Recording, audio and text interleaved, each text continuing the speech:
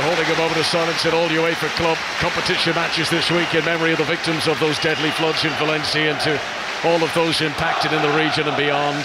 This is Five Live from the BBC. This is the league phase of the Europa League. Match day four. Manchester United with three draws out of three so far and up against PAOK Salonika from Greece. The PAOK, by the way, I'm, I, don't know how I'm doing this to myself, Izzy, but I'm going to try. PAOK, what it stands for, Panasakalogonicus Athleticos Omelos Konstantinolipitin. So I think we'll stick to PAOK. I'm glad you said that. That was mightily impressive, though. Not really. I've been practicing that all afternoon. There's a good reason they go for the four initials. So, Manchester United to get it started. Rasmus Højlund touches the ball to Bruno Fernandes. Manchester United will play from right to left as we look down, attacking the Stretford end. We know that's not the end. They like to play towards the first half, so that means that PAOK have won the draw. Can that be a psychological advantage in this 8 o'clock kick-off? There's already been games this evening in the Europa League. As things stand on the live table, Manchester United 21st in the standings, PAOK 31st. You've got to finish high up those standings to progress in the competition. Lovely touch from Diallo. What a little party piece that was to flick the ball infield on the far side. As Manchester United would love to get a, a strong start to this game tonight. Andre Onana, the goalkeeper. Mazraoui, Lindelof, Evans, and Dalot with the back four. Amad on the right, Garnacho on the left, Casemiro and Ugarte in the middle. Bruno Fernandes pushing on in support of Rasmus Højlund in attack. Dominik Kotarski, the Croatian international goalkeeper for PAOK, as Manchester United get a free kick on the right hand side, just inside their opponent's territory. John Otto at right back, Kedziora, Colley, and Baba Rahman the defence. Then it's Ozdoyev and Schwab, the captain. Stefan Schwab, former Austrian international, with Zivkovic and Taison either side of Mady Kamara. And then up front, Tissoudali, Tarek Tissoudali, Moroccan international, who is the centre forward for PAOK. Manchester United take the free kick. It was a kick on Diallo. Maybe PAOK didn't like that little party piece from him in the early seconds of the game. And next time he got the ball, he was absolutely clattered. He certainly was. He's looked bright, Amad, in these opening exchanges. Manchester United building from the back with a three. Mazraoui at right back is actually getting himself really high up the pitch, close to Amad. So that is clearly a tactic of Ruud van Nistelrooy. Now Garnacho is the one who was kicked to the ground just as he tried to spin away from a challenge. He was caught by Andrija Zivkovic, who you noticed, uh, is he in the warm-up? He went down nursing an injury, Zivkovic, but he was back up at his feet, hobbling for a while, and he has been able to take his place in the starting 11. But we'll keep an eye on him tonight as Diallo spins in off the wing on the right hand side. Again, he's tripped just after he released the ball. Referee allows play to continue. Manchester United advance. Garnacho pushes it too far in front of Bruno Fernandes, and that trickles out for a goal kick for PAOK. It is nil nil in this 8 o'clock kickoff and 5 live in the Europa League. Yeah, bright start for Manchester United. Switching it out to Garnacho on that left-hand side and that sort of third player run from Bruno Fernandes into a really nice looking pocket, but Garnacho overhit the pass. Two years ago, Manchester United were beaten here at Old Trafford by Real Sociedad in this competition. That has been Manchester United's only defeat in the last 25 Europa League home games. Can they keep that run going this evening? Ideally, Ruud van Nistelrooy's team need a win. Ugarte's done well to wrestle back possession midway inside his own half. Gives it short to Bruno Fernandes. Back into Casemiro. Casemiro's got three goals in his last two games in all competitions. Diallo involved again on the halfway line, far side of the pitch from us. It's a pleasant evening at Old Trafford. It's very still. There's no wind, no rain, and remarkably for this stage of November, it's not really cold at all either, is it? No, it's perfect night for football. A little bit of mist in the air. Had a really nice feeling to it walking to the ground of what hopefully for Manchester United fans is a super European night where they get off the mark. Manchester United, who wouldn't be in European competition this season if they hadn't won the FA Cup last season, their league placing wasn't high up enough up for it. They're still in the bottom half of the Premier League table for now, so staying on in Europe for the foreseeable future could depend on their next few results in this group. They've still got four more games in the Europa League, this new format, four more games to go in what is the, the league phase, they're calling it. Here is Dalot inside the centre circle. Playing it left back tonight, into the midfield. Bruno Fernandes in front of Højlund, nearly got into the penalty area. Kedziora sliding on the edge of the box, got it back for Pau. And for the first time, the Greek champions put two passes together and then they lose it immediately. Mazraoui in the midfield, on to Bruno Fernandes, back towards Mazraoui again. Omar Colley makes an interception. Now Taison, the almost 37 year old Brazilian, former Shakhtar Donetsk player, has done well to play it up to Tissoudali. He's within 10 yards of the Manchester United penalty area, but covered by Lindelof. PAOK called onto the ball, but they're back inside their own half. Izzy yeah, Christiansen? Very happy, PAOK, just to absorb the enthusiasm out of Manchester United right at the moment. They've managed to regain good possession of the ball, are just swinging it around the back four, trying to entice Manchester United out of their defensive structure. But good start from both teams. Manchester United looking for their first win in seven European games. And if Ruud van Nistelrooy's team don't win this evening, it'll be Manchester United's worst European run ever. Ball is played forward by Baba Rahman down the left wing. That was a good ball. Tissoudali out there again. Then it's played towards the edge of the box. Kamara, no one marking him just outside the D. He plays it into the box to Zivkovic. Left footed player playing on the right hand side. Back to the edge of the area. Shot comes in. Repelled away by Casemiro with Onana diving behind him. Casemiro took the sting off the shot and Johnny Evans was able to clear away. That's PAOK's best attack of the game. Five minutes played, nil-nil on Five Live. Yeah, it's brilliant from PAOK. They swung the ball from that left-hand side out to this right-hand side, and we did highlight before the game Kamara in that number 10 role, in behind the striker.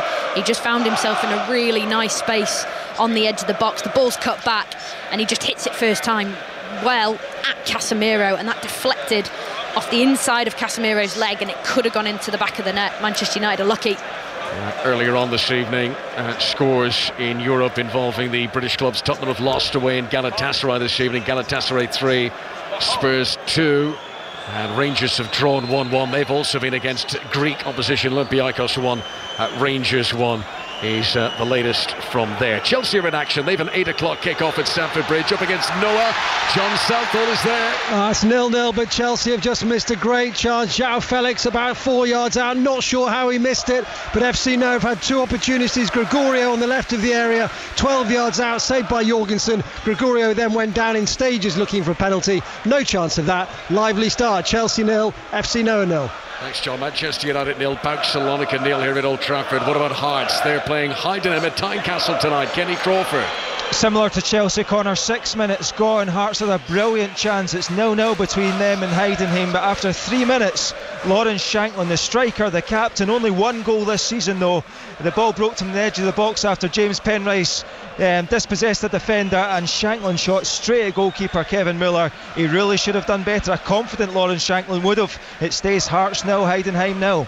Thanks, Kenny. Baba Rahman trying to come forward on the left-hand side for PAOK, but good tracking back by Diallo to help out Mazraoui. These Manchester United players who have got a watching Ruben Amorim, who will, I'm sure, be glued to this from afar. They've got him to impress tonight. You'd imagine they're going to give this everything as Johnny Evans sweeps across and just uh, manages to slide in in front of Jonny Otto and put the ball out for a throw into PAOK, attacking position down the right-hand side. Away from the continental action this evening, domestically, there's one game of the championship tonight. It's at the Hawthorns. It's an 8 o'clock start. West Brom against Burnley. How's that one begun? Here's Tom Gale. Where it's also goalless, Connor. The home side struggling for goals at the Hawthorns. They've had the game's first attempt. Cross to the back post. John Swift on the volley. High into the Smethwick end. West Brom nil, Burnley nil. Thanks very much, uh, Thomas. Kamara plays a 1-2 with Zivkovic. pouncing plenty possession now. Manchester United dominated the opening 3-4 minutes, but the Greek champions growing into the game, growing in stature and confidence. It's still very much the early stages, but they're looking a bit more relaxed now as Omar Colley, who is a uh, Gambian international, turns and rolls the ball back to the goalkeeper, Kotarski, Dominic Kotarski. Made his international debut for Croatia earlier on this year. The referee has held up play inside the centre circle. And it's going to be a free kick to Manchester United. And Casemiro standing right on the centre spot.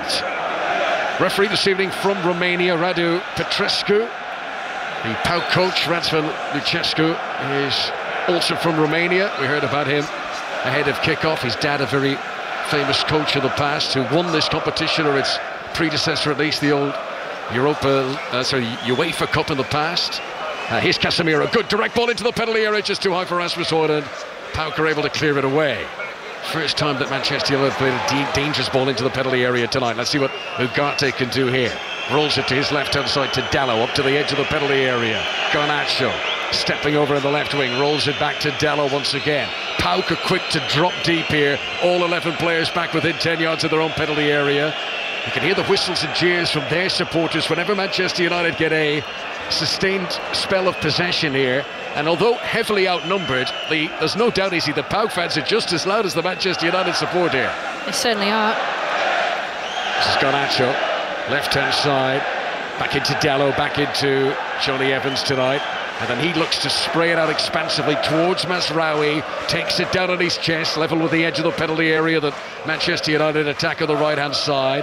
Diallo gets the touch back to Lindelof. Good possession here for Manchester United, but can they pick the incisive pass? Manchester United nil, PAOK nil. Five live for the BBC in the Europa League. Mazraoui, that's a good turn of the edge of the box. Gives it to the feet of Bruno Fernandes. Now to Dalot in the penalty area. Quick dancing feet. Tried to give it to Mazraoui. Too tight, too congested though. And PAOK aren't able to fully clear it away. Casemiro crosses low. Mazraoui tries to help it on. Zivkovic is back there. And it is with some relief that PAOK do fully clear it away this time. Yeah, it's beautiful, intricate play from Manchester United.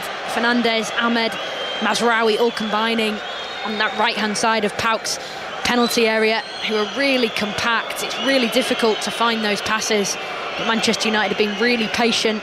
Amad's looked really sharp in this opening 10 minutes. Tonight, the first ever meeting of Manchester United and PAOK Salonika. United, who do have a very good record against Greek sides over the years, they've a 100% home record in matches against Greek opposition. In fact, uh, look over six home games that Manchester United have played against clubs from Greece in the past. Forget about losing a game. They've only conceded one goal in total across those six matches. But there's optimism from the travelling fans. And with 11 minutes played, it's been pretty even so far in the early stages. Ruud van Nistelrooy naming a strong team tonight, hoping to get a win in this year's first European game in charge of Manchester United. Second last game that he will be in the dugout. He's got the league match of the weekend, and then it'll be the arrival of Ruben Amorim. This is Lindelof to Mazraoui midway inside Manchester United territory. There was a high-risk pass by Mazraoui. He nearly gave it away there, but he did pick out Dalot. Dalot, who's got Amad all the tricks tonight. He's full of twists and turns. Uh, Diogo Dalot's done one of the edge of the penalty area here. Tries to get the ball away from Kedziora. Just can't do it as the Polish international nudges it clear. PAOK have up on the halfway line with Zivkovic, and then he turns under pressure from Ugarte, and PAOK must retreat again back through Jonny Otto and all the way back to the goalkeeper again. Izzy? Yeah, Dalot finding himself really advanced in that moment. Manchester United are building with a back three with Lindelof, Evans, and Dalot as sort of the three, and Mazraoui's tucked up high on that right hand side. But Dalot does have freedom to go, and when I noticed he went then, Ugarte was quick to fill in for him, which I think is really good because he needs to put out those fires on the transition. Look to go long. It's a long searching pass towards Zivkovic. Diogo Dalot's back there. That's an uncertain header. Zivkovic with a chance. He shoots, and he had plenty of bend and whip in it, but it's well wide in the end. And had he got his angle right, there was a lovely curl on that shot, but it just set off too far wide of the target to try and get back in towards the net. Absolutely. It was a, a really nice sort of cut inside from Zivkovic on this right hand side onto his favoured left foot and he's looked to wrap it away from the goal to come back in. We would have had a perfect angle of that, Connor. Yes, we were wide. right behind it. That's the best chance of the game here. Let's go quickly to Chelsea. John Southall. Where Chelsea have the lead. Chelsea 1 FC Noah, nil. Came from a corner on the right hand side from Fernandes and there was Tosin Adarabioyo with his first goal for the club, guiding a header into the bottom left hand corner. Chelsea 1 Noah nil. Casemiro almost gives away possession of the midfield, but Mazraoui wins it back quickly for Manchester United. Amad does a little back heel to himself to pirouette around and find a bit of space. He's looked really good, Amad, tonight. Mazraoui back out to the right wing where Casemiro has remained. First time delivery. Garnacho on the back post. What a block for the defender. That is brilliant defending, Johnny Otto, because Garnacho's header, I'm sure, was going towards the target. A whipped cross from Casemiro, and we've had two really good chances at both ends. Manchester United nil, PAOK nil. Oh, that ball from Casemiro is absolutely exquisite. He's whipped in with pace right to the back post area. Garnacho looks to head it. He does really well, actually. He looks to head it back across goal. I think there was appeals for handball. We're just watching a replay, but Garnacho unmarked at the back post He does so well to get on the end of that. Garnacho, who is Manchester United's top scorer across all competitions this season. We'll go back to Chelsea in a moment, but here's the Manchester United corner, played in by Bruno Fernandes. Dalot trying a backward header. It'll go out for corner number two, back to Stamford Bridge, back to John Southall. Chelsea 2, FC Noah nil. Mistake from Noah. They gave the ball away to Marc Guiu on the edge of the penalty area. He slotted it in. His first goal for the club. It's a popular one. Chelsea 2, FC Noah nil. I'm surprised, Sean, you didn't say the goals are going to go in two by two tonight. There'll be We've enough for that. that Has that been done? Good. We've ticked that box. Right, okay. Corner to Manchester United, which Bruno Fernandes will take. Right footed, same low delivery. This time headed out by a defender. It'll be corner number three. In, in fact, this one won't be a corner. This has got out on the throw in side of the corner flag. So a throw into Manchester United. Two deliveries there below the regular standard you'd expect from a set piece from Bruno Fernandes. Yeah, I think he's trying to actually whip it into that near post area. It's clearly something Manchester United have worked on or targeted as an area where PAOK may have a weakness defending that front post space. But the captain. Throw in Fernand- taken to Bruno Fernandes back across the face of goal and Colley has to hack it away for another throw in. Sorry, he is. Yeah, Fernandes just with two poorly executed deliveries, but United on top here. Exactly quarter of an hour played in the Europa League. Manchester United nil, Salonika nil. Johnny Evans from inside PAOK territory turns and rolls it back to Andre Onana wearing all purple. He's up at the halfway line. His clearance towards the edge of the box is flicked on by Dallo. Garnacho gets it down on the deck. Right foot across, too high for Højlund again, and that bounces away. Rasmus Højlund in his Manchester United career has had to be so patient as he waits for good quality service. Well, there has been two already from Casemiro. First time deliveries. He's just got himself into good areas where he's stepped onto the ball and he's just whipped it in first time with pace. Højlund just lurking in that six yard area, waiting for his goal. Rasmus Højlund, who scored against Porto in this competition in October. One of just two goals he scored this season. The other one in the Premier League against Brentford. That was two league matches ago. Rasmus Højlund, who did play against PAOK in this competition with his old club Copenhagen in the past, and tonight up against them again in the colours of Manchester United. Manchester United playing right to left as we look down. The red shirts, white shorts, black socks. PAOK in sort of Newcastle United colours, black and white. Amad's done really well here against Baba Rahman to the byline, into the penalty area. Defender's got to be really careful of the box. That was a rather rash challenge on the byline, but inside the penalty area. Manchester United fans at the Stretford Edge screaming for a penalty. Amad is still down. The referee's on-field decision is that it's going to be a corner, but Baba Rahman was right on the knife edge there as to whether he's going to give away a penalty. Yeah, it's I I think that's a penalty. I'm just watching the, the replay for the third time and there's real contact on Amad. He does really well to get to the byline, dribbles into the box. Any sort of contact on him in that moment is a penalty, and that could have gone either way. But they've got a corner. Yeah, the contact, the main force of it is hip on hip, which is very forceful and does force Amad to fall over. Uh, the fact that it's the hip, could that get him out of jail here? Baba Rahman, who as well as played for Chelsea, has played with Reading in more recent times. The VAR has had a look at it. They are satisfied with the on-field decision. They say no penalty. I think if it had been boot on boot or shit on shit, it might have been a different story. Um, Romanian on-field officials tonight, but the video assistant referee and his partner are from Italy. It's Daniele Chiffi who's looking at the replays from afar on this one. But you know, if, if this remains a tight game, that'll be a talking point because Rahman. I mean, there's no doubt Amad would not have fallen over if the defender didn't collide into him, and he's inside the penalty area. Corner's been taken. Garnacho, into the penalty area, turns, shoots, takes a deflection corner again. This is a good spell for Ruud van Nistelrooy's team.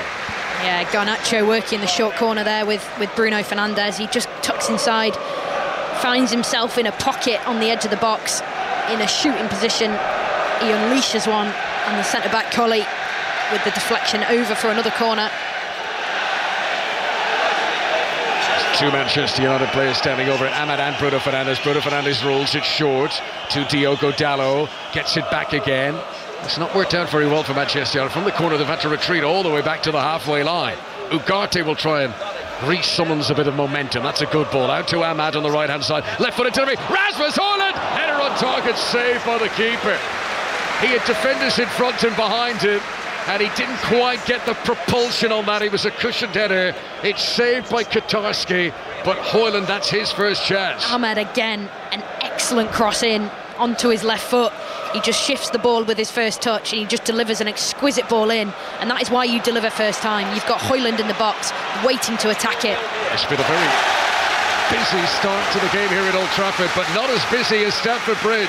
Chelsea Noah, John Southall. Yeah, you fear for the Armenians now. Chelsea 3, FC Noah nil. Carbon copy of the first goal. Corner on the right hand side. This time Axel Disasi, the player to head it in. 18 minutes played. Chelsea lead by three goals to nil. Thanks very much, uh, John. Manchester United nil, Salonika nil here at Old Trafford on 5 Live. 20 minutes played. PAOK do have a very familiar Premier League name in their squad these days, but not involved tonight. Dejan Lovren. He joined PAOK in September, former Southampton and Liverpool player, of course, Premier League winner with Liverpool in 2020. Uh, was part of their Champions League success too in, in 2019. But he signed for PAOK after the deadline. Here's Amad. He takes another tumble in the penalty area after releasing a pass to Mazraoui. That one didn't look quite so clear cut, and referee is going to give a free kick for a foul on one of the PAOK defenders. It's going to be a free kick to the Greek champions and a chance for them to clear away the pressure. I tell you what, Bruno Fernandes has been so sharp in that 10 role, in behind Rasmus Højlund. He's been picking up some really intelligent positions and feeding Amad with the first time pass. So often we see midfielders holding on to the ball for too long and it disrupts the 1v1 opportunity for the wingers. But Bruno Fernandes has been feeding Amad exactly the right time, and that is why he's had such a good start to this game. Magomed Ozdoyev is the player who was slow to get back to his feet there, Russian international turned uh, 32 on Tuesday. Here's uh, a chance as PAOK trying to play it from the left wing into the penalty area, but Dalot has got it under control despite the attentions of Zivkovic. He cuts back at himself, clears it up towards Bruno Fernandes. Then Baba Rahman comes in and gets there ahead of Diallo, but a very poor ball gives possession back to Manchester United, and Ugarte immediately relieves Garnacho, bearing down on the penalty area. Dalot's outside him. Good defending again, Johnny Otto. You can see that Premier League quality whenever Manchester United have attacked down that side. The former Wolverhampton Wanderers player has kept his cool. Yeah, Johnny Otto did really well there. The PAOK fullback, the right back, Dalot, Garnacho looking to combine on the transition down that left-hand side. And for the second time, Garnacho's actually just passed the ball out of play with the wrong execution. But the fans are getting off their feet here, off their seats, sorry. I think it's worth a comment that Diogo Dalot, how hard he works, because he won possession, edge of his own six-yard box there from the PAOK throw-in set that counter-attack in motion. He's the one getting on the end of the Garnacho pass to the byline down the other end.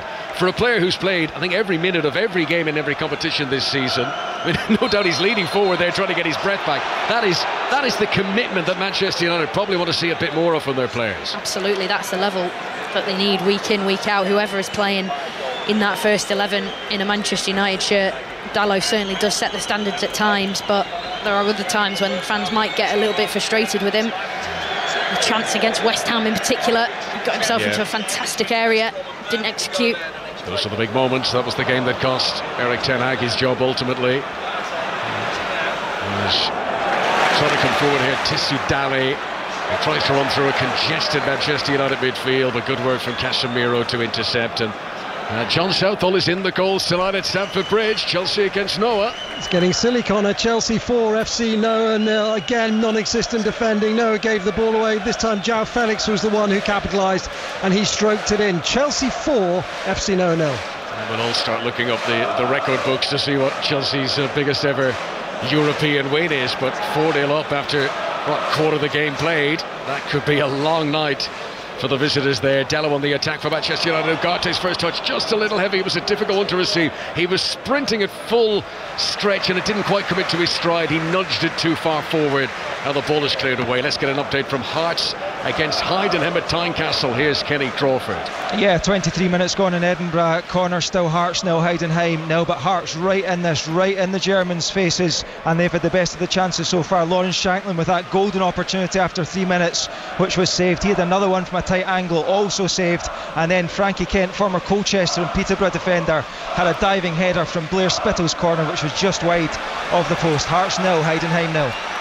Come on the attack with Zivkovic down the right hand side, stepping into the penalty area. Casemiro worked hard to get back and help out Dalot.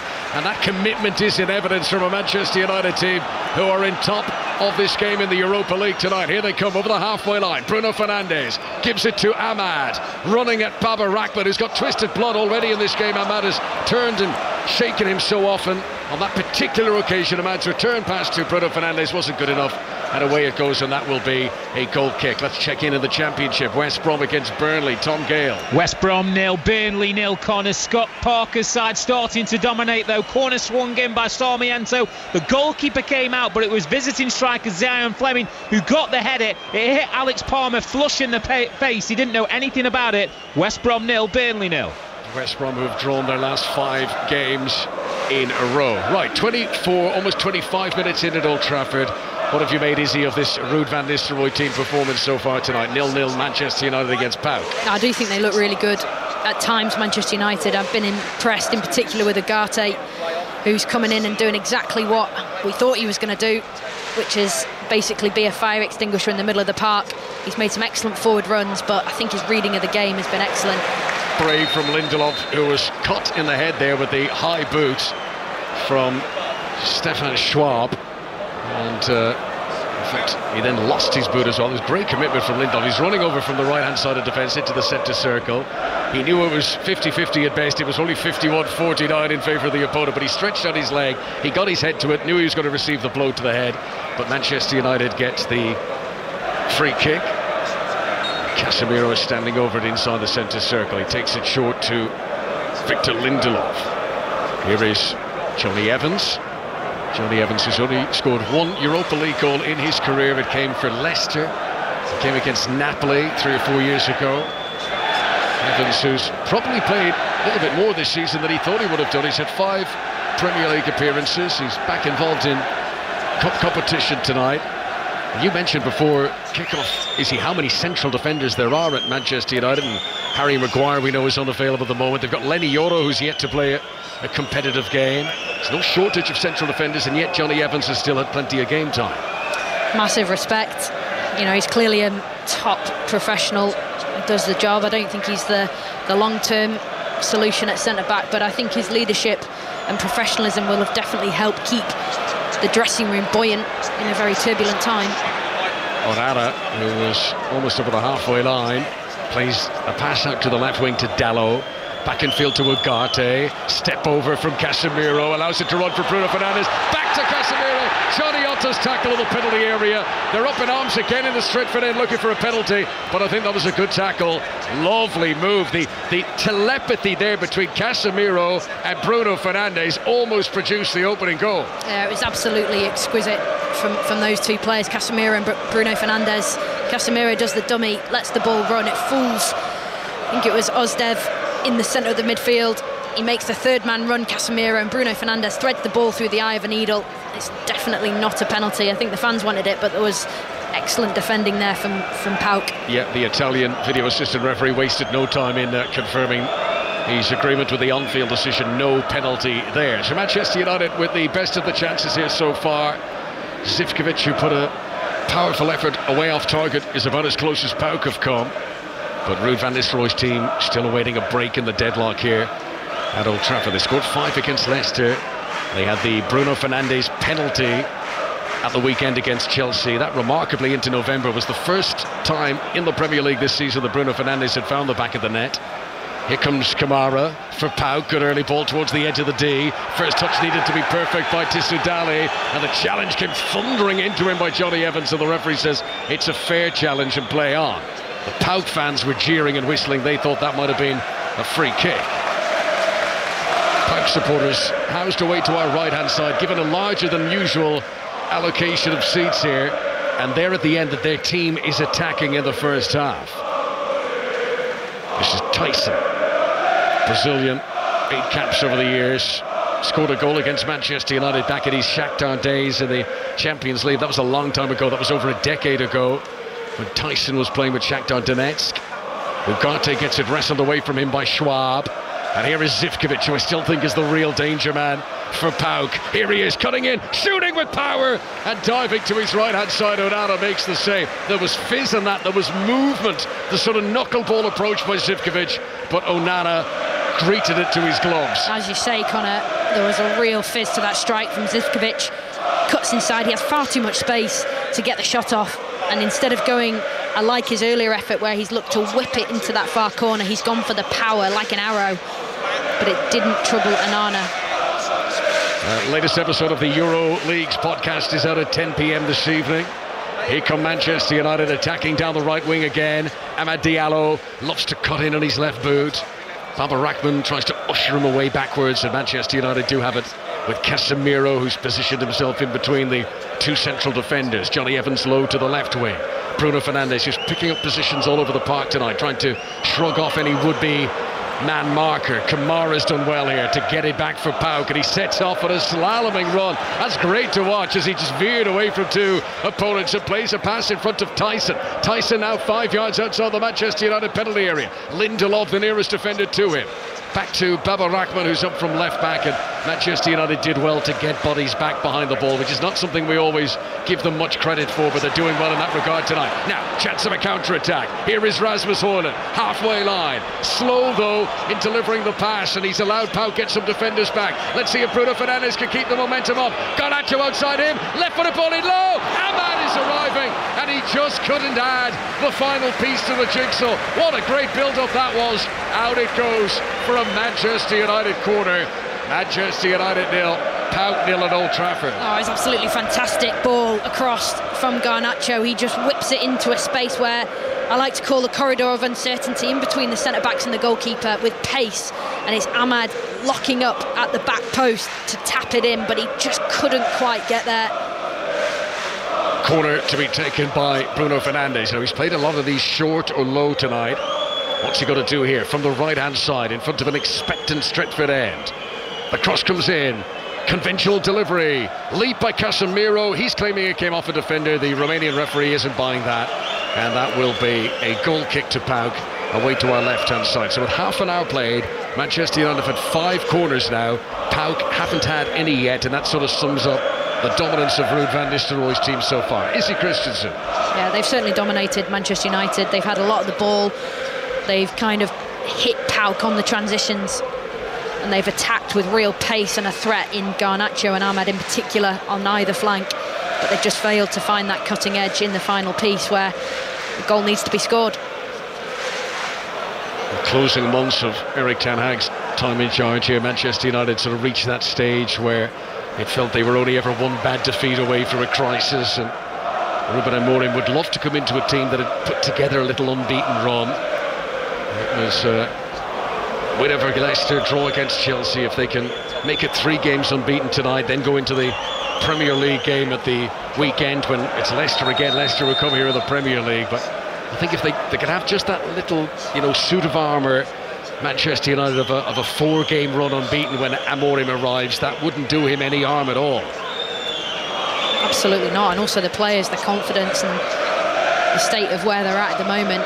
They need to start putting together a run that gets them competitive again, especially in this competition, because this might be the one where you look at and go, this is the likelihood of finding Champions League football again. Ugarte goes long. Jonny Otto was covering Garnacho. Continues to do a good job on him. Zivkovic back helping out the defence, tries to dribble his way into the opponent's half, and he pretty much succeeds. That's very good. Schwab keeps it moving. Here is Mady Camara. And over to the left wing, to Baba Rahman. But this is where the momentum kind of slows down a bit. They, they get up ahead of steam, but then very quickly they resolve to a safe pass or a backward pass. And PAOK at the moment is struggling to get in behind the Manchester United defence, who, let's face it, looking back over recent months, have been vulnerable when put under pressure, but PAOK aren't applying that pressure. Here comes Baba Rahman down the left-hand side in full flow, chest pumped up, tried to play it in towards Schwab, captain. Good interception, Ugarte. That's what he's in the team to do, Ugarte.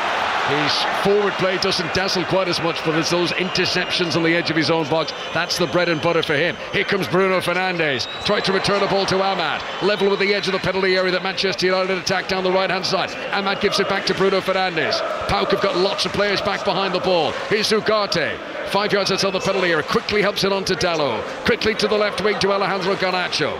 Two defenders standing up in front of him. Casemiro has joined Højlund in the penalty area. Dalot tries to chip it towards Bruno Fernandes. That was a tricky one to execute. Needed to be just perfect, and it wasn't. And PAOK are able to clear the ball away. Manchester United nil, PAOK nil. Yeah, they swung the ball from, from right to left really well there, Manchester United. Just sort of teasing PAOK out in and around the 18 yard box, seeing if they bite and the gap's open. But it was just a really poorly executed. It wasn't even a cross from Dalot. He looked to dink it into the run of Garnacho, I think it was. Just again, fi find, not finding that solution to break PAOK's resilient defence so far. And that's from Lucescu, the PAOK coach, goalkeeper in his playing days. He has been successful though, two league titles with PAOK. In the middle, he went off for a spell in Saudi where he won the Saudi League, the King's Cup, and the Asian Champions League with Al Hilal. Um, tonight is his 100th game as a coach in UEFA European competition. So he's got plenty of experience. He's got a winning track record. He would love. He would see it as a real scalp if his team could beat Manchester United here tonight at Old Trafford. Ruud van Nistelrooy, who's out on the edge of the technical area, smart, tight-fitting coat, arms folded across his chest. He's got Darren Fletcher in the technical area, who's having a word with him a few minutes ago, and they have sent a couple of the substitutes to go for a warm-up. De Ligt is one of them, and Zirkzee is the other. I imagine that is just to, to keep the blood pumping rather than any imminent change, but we'll, we'll monitor the progress on that. This is Schwab for PAOK. Nil-nil away at Manchester United tonight. Zivkovic, halfway line on the right-hand side. The yellow in his boots. Rolls it in field. Camara, safe pass again. As PAOK hold on to possession. Ozdoyev to Omar Colley. Will the Greek champions be brave enough to try a sort of Hollywood pass that would be needed to, to break the deadlock and maybe give them the lead ahead of half time? Safe again from Kedziora. And then Jonny Otto goes back to the goalkeeper. I mean, I guess nil-nil will probably be a good score for PAOK tonight. They are being quite conservative at the moment, is it? They are. They really are, and I think they'll be happy with it. The, the coach will be happy with it.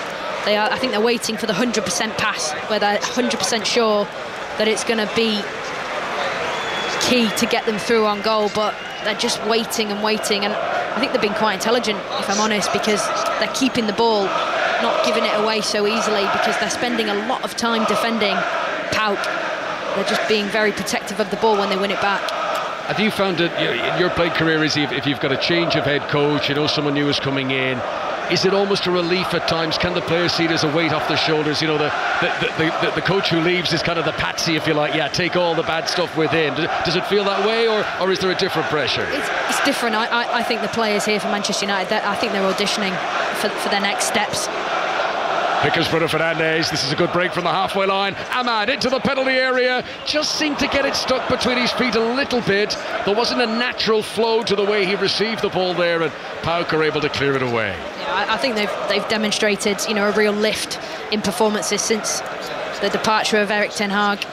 Let's not forget he won two trophies here at Manchester United, but it's that consistency that this club needs, the consistency of the winning habits, and they've certainly found that under Van Nistelrooy in this short period. But moving forward, I think there'll be a few players who will profit from the new arrival and some that won't, and that's normal in football. But it's a case of sustaining that level of performance where you can compete. Let's be honest, this club's all about winning. Let's go for an update back to, to Tynecastle, the latest uh, from Hearts game this evening against Heidenheim. Here's Kenny Crawford. Oh, it's still 0 0 corner between Hearts and Heidenheim, but Yan Dhanda, former Swansea midfielder, just did a shot which stung the palms of Kevin Muller and the Heidenheim goal. Hearts still really impressive how they're going about this tie. Um, James Penrice had a couple of chances a minute ago, and then Blair Spittal, a midfielder on bang on form at the moment, had a shot deflected wide from the edge of the box. Hearts nil, Heidenheim nil. And back to the championship, back to the Hawthorns. West Brom against Burnley tonight. Here's Tom Gale. Goalless here, Connor, but the visitors should be in front. Misplaced West Brom pass sent in Sarmiento one on one. A lot of time, maybe too much, and it was Alex Palmer who saved with his feet. It's West Brom nil, Burnley nil.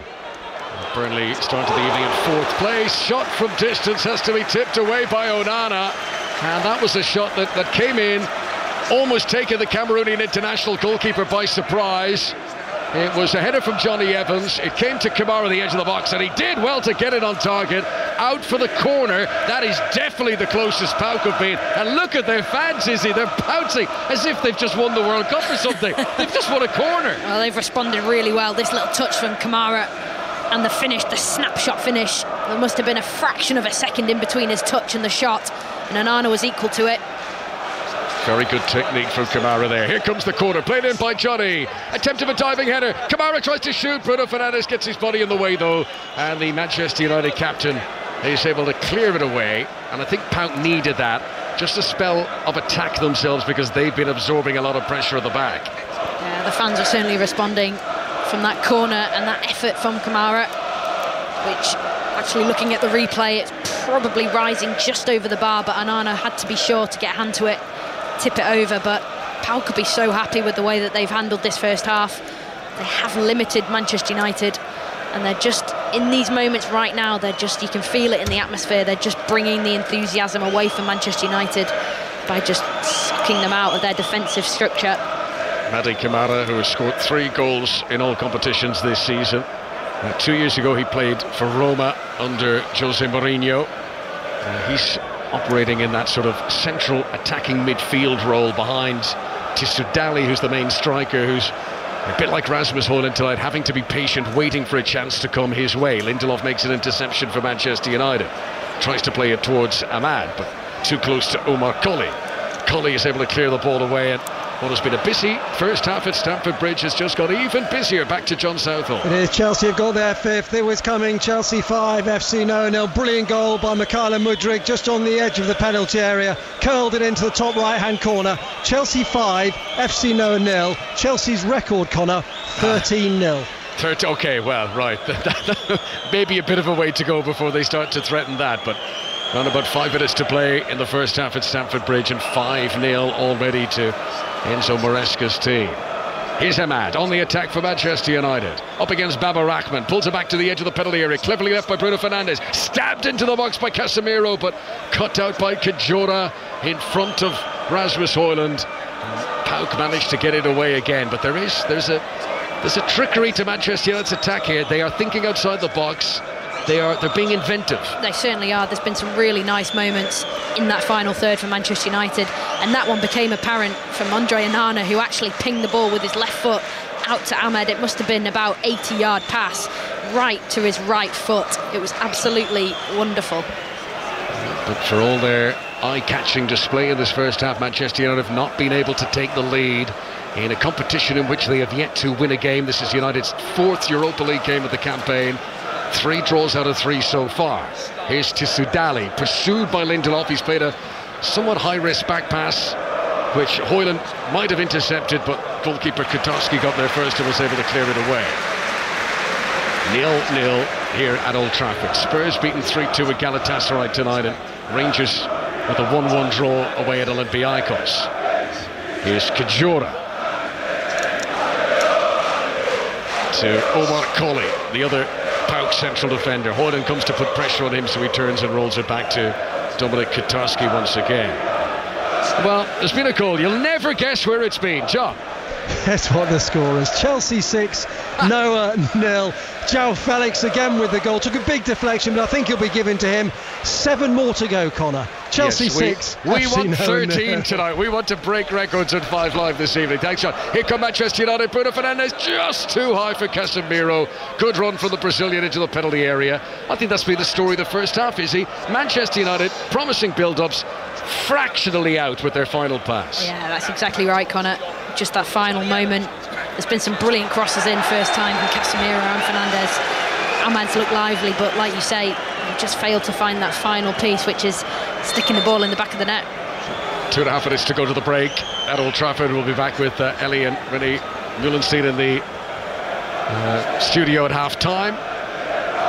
First half that has gone by quickly. There's not been any real delays. Jonny Evans with possession. One of three changes in Ruud van Nistelrooy's team tonight. Van Nistelrooy, who won the league with PSV, that one full season in charge. Uh, sorry, uh, uh, ca- ca- came second in the league. That, he won the cup, wasn't it, that he did that, that one full season in charge. Just of the experience of being a head coach, being assistant for the Dutch national team. Baba Rahman controls the ball. Chelsea, who signed him, he, he played a lot in one. I think he played about 30 games the first season. Never saw him again, out on loan, as so many Chelsea players do, and ultimately leaving the club was never to play for Chelsea again. Baba Rahman. Now that's a nice little bit of play by Ozdoyev in the midfield and trying to accelerate forward. Taison in off the left wing to a more central position. Zivkovic, good idea to try and pull it back to Camara, but he played it a bit too forcefully in front of him. Camara's been able to hold on to the ball, but he's got to go wide to do it. Baba Rahman comes to join the attack. Oh, he's got through Ugarte. That was weak defending. Garnacho clears away. Ugarte, lucky boy. That's brilliant bit of play from PAOK. The overlapping fullback manages to get the cross in. Any contact in and around that area on Baba would have been a penalty and it was Garnacho doing his defensive duties, mopping up inside his own 18-yard box in a really good position, reading the play well. Manchester United are on the back foot here. Nil-nil. PAOK have only been involved in one scoreless draw this season in all competitions. They were nil-nil against Panathinaikos in the Greek league. Dalot and Evans between them get it back on the edge of the Manchester United penalty area. Now, can Van Nistelrooy's team launch a counter-attack? That's a weak pass from Garnacho. Bruno Fernandes wanted that played earlier and firmer, and he might have been away. But Garnacho couldn't dig it out. Throw in to Manchester United. Bruno Fernandes continuing the remonstrations with Garnacho there. Here is Lindelof. One minute to be added on for stoppages ahead of the break at Old Trafford. Evans to the right wing to Amad Diallo. This time Baba Rahman stepping away off him. He's been good tonight. Dalot, I think he's you know proved his worth in the team ahead of Marcus Rashford this evening. But can Manchester United get a goal? Garnacho on the left wing. Zivkovic back to help out Jonny Otto. Casemiro tries to return it to Garnacho. It's intercepted by a defender, and out it goes for a, a, Manchester United throw. 30 seconds or so remaining in this first half. That clapping noise you can hear in the background coming from the PAOK fans, who've been very well orchestrated and regimented. They're like uh, in unison, different chants and claps and movements that they make. Bruno Fernandes, can PAOK hold on to the break at nil-nil? spreads it out to the right wing. Amad Diallo, good control down off his shin, veers in field. Bruno Fernandes too high with the lofted return, but it comes back to Bruno Fernandes. Two defenders in front of him, gives it to Mazraoui, back to Bruno Fernandes, third time involved in the move. Dalot leaves it, bad decision. He rolled it to the foot of Dalot in his shooting position. Dalot opened his legs, he thought there was a teammate behind him. There was no one behind him, no shot in the end, and that was the final action of a first half. A first half in which Ruud van Nistelrooy's Manchester United had all the possession, all the territory. They had the best of the chances, but the teams go in all square at half time. Izzy Christiansen. Yeah, I think Dalot there with that final chance of this first half. I think he lets the ball run through his legs because he thinks the pass from Bruno Fernandes isn't for him, but I think it was. And he just needed to wrap his right foot around it and he would have had a fantastic effort on goal. But that was beautiful play again on that right hand side for Manchester United. But again, the story of the first half failing to find that final little piece of getting the ball in the back of the net. Manchester United haven't scored many first half goals this season. I guess if we're looking for positives, most of them come in the second half. So they will hope to be able to push on and to get a goal that would be worthy of the attacking play that they've enjoyed in this first half. It's rather quiet here at Old Trafford at the break. Can van Nistelrooy's team come out and inspire Old Trafford in the second half? For now, it's Manchester United nil, PAOK Salonika nil.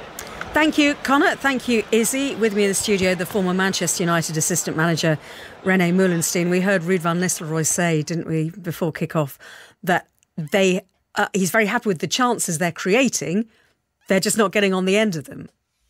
Yeah, but I have to say in the first half, well, like uh, Conor and Izzy was saying, that uh, they have been on top, but they've been having some some really good moments getting into the box. Although I do think there is a lack of quality there, a few really poor decisions, and that's let them down so far. So they have to step that uh, they have to step that up in the second half. The best chance, actually, probably on target came for, from Park. Yes, and and uh, if you look at Park, you, you, know it's it's an experienced team. There's a lot of older players in there, and uh, sometimes with these teams they sort of start to fade away in the second half of the lack of energy. If if Manchester United want to capitalise on that, they need to be a little bit more on the front foot and don't give Park Park the sort of chance like Izzy says as well. When they've got the ball, they just wait for United. They don't rush anything. They wait for that one particular chance, and it nearly fell for them.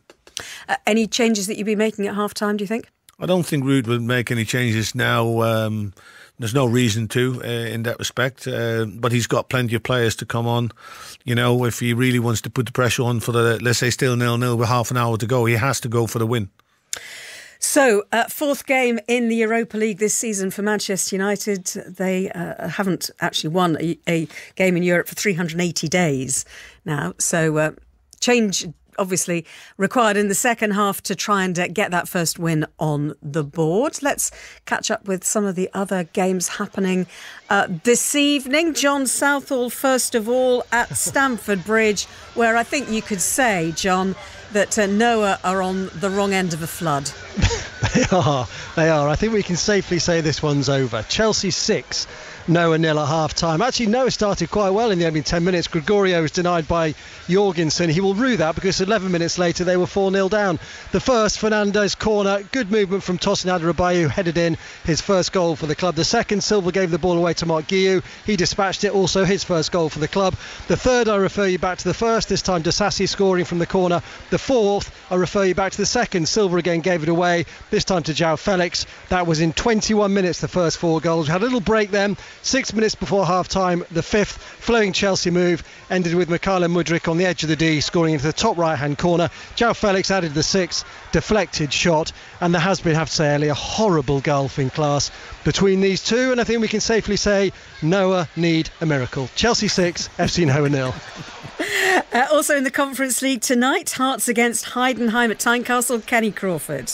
Half time, early Hearts no, Heidenheim no. It's been good though, the hosts more than simply holding out against the Germans. The shot, the stat of 10 shots to 3 in favour of Hearts tells a lot uh, of the story. Uh, but that also highlights the profligacies. Lawrence Shankland, the captain, the striker, with only one goal this season, he's been the chief culprit. He was one on one with goalkeeper Kevin Muller after just three minutes, and the German goalkeeper got the better of him. James Penrice, Alan Forrest, Blair Spittal, and Yan Dhanda, they've all had chances too, but spurned those opportunities. Then against the run of play right at the end of the half, Malachi Boateng, the former Crystal Palace midfielder, now at Hearts, had to clear one off the line from Leonard Maloney um, against the run of play. So Plenty of action, but no goals. Hearts nil, Heidenheim nil. And it's 1 1 at half time for Larne against Swiss side St Gallen. In the Championship, West Brom against Burnley, Tom Gale. Half time, Ellie. West Brom nil, Burnley nil. Boy, could we do with just one of John Southall's goals. The hosts on course for their fourth goalless draw from this, their eighth home game played so far here at the Hawthorns, and they should be behind. Defensive mistake saw Brighton Loney, Jeremy Sarmiento through on goal. Keeper Alex Palmer stayed big for a long time and saved with his feet. A Callum Styles 25 yard strike, which whistled just a couple of yards over the bar. The closest West Brom have come at half time. West Brom nil, Burnley nil. And two full time scores earlier from the Europa League uh, Galatasaray 3, Tottenham 2, and uh, Olympiacos 1, Rangers one. Both of those were 5.45 kickoffs. So second half commentary to come on Manchester United against PAOK at Old Trafford. And we'll bring you up to date with uh, events also today in the Championship with Coventry City getting rid of the very long-serving Mark Robins as manager. But first, let's get the news here on 5 Live with John McKenzie. The voice of the UK. And the home of the Premier League. This is BBC Radio 5 Live. Thanks, Ellie. And we start with some breaking news. In the past few minutes, it's been confirmed that three people have been charged in relation to Liam Payne's death. That's according to Argentina's public prosecutor's office. The former One Direction singer died last month at the age of 31 after falling from a third floor balcony of a hotel in Buenos Aires. All three are facing drugs charges, and one is accused of abandonment of a person followed by death. We'll have more on this this evening.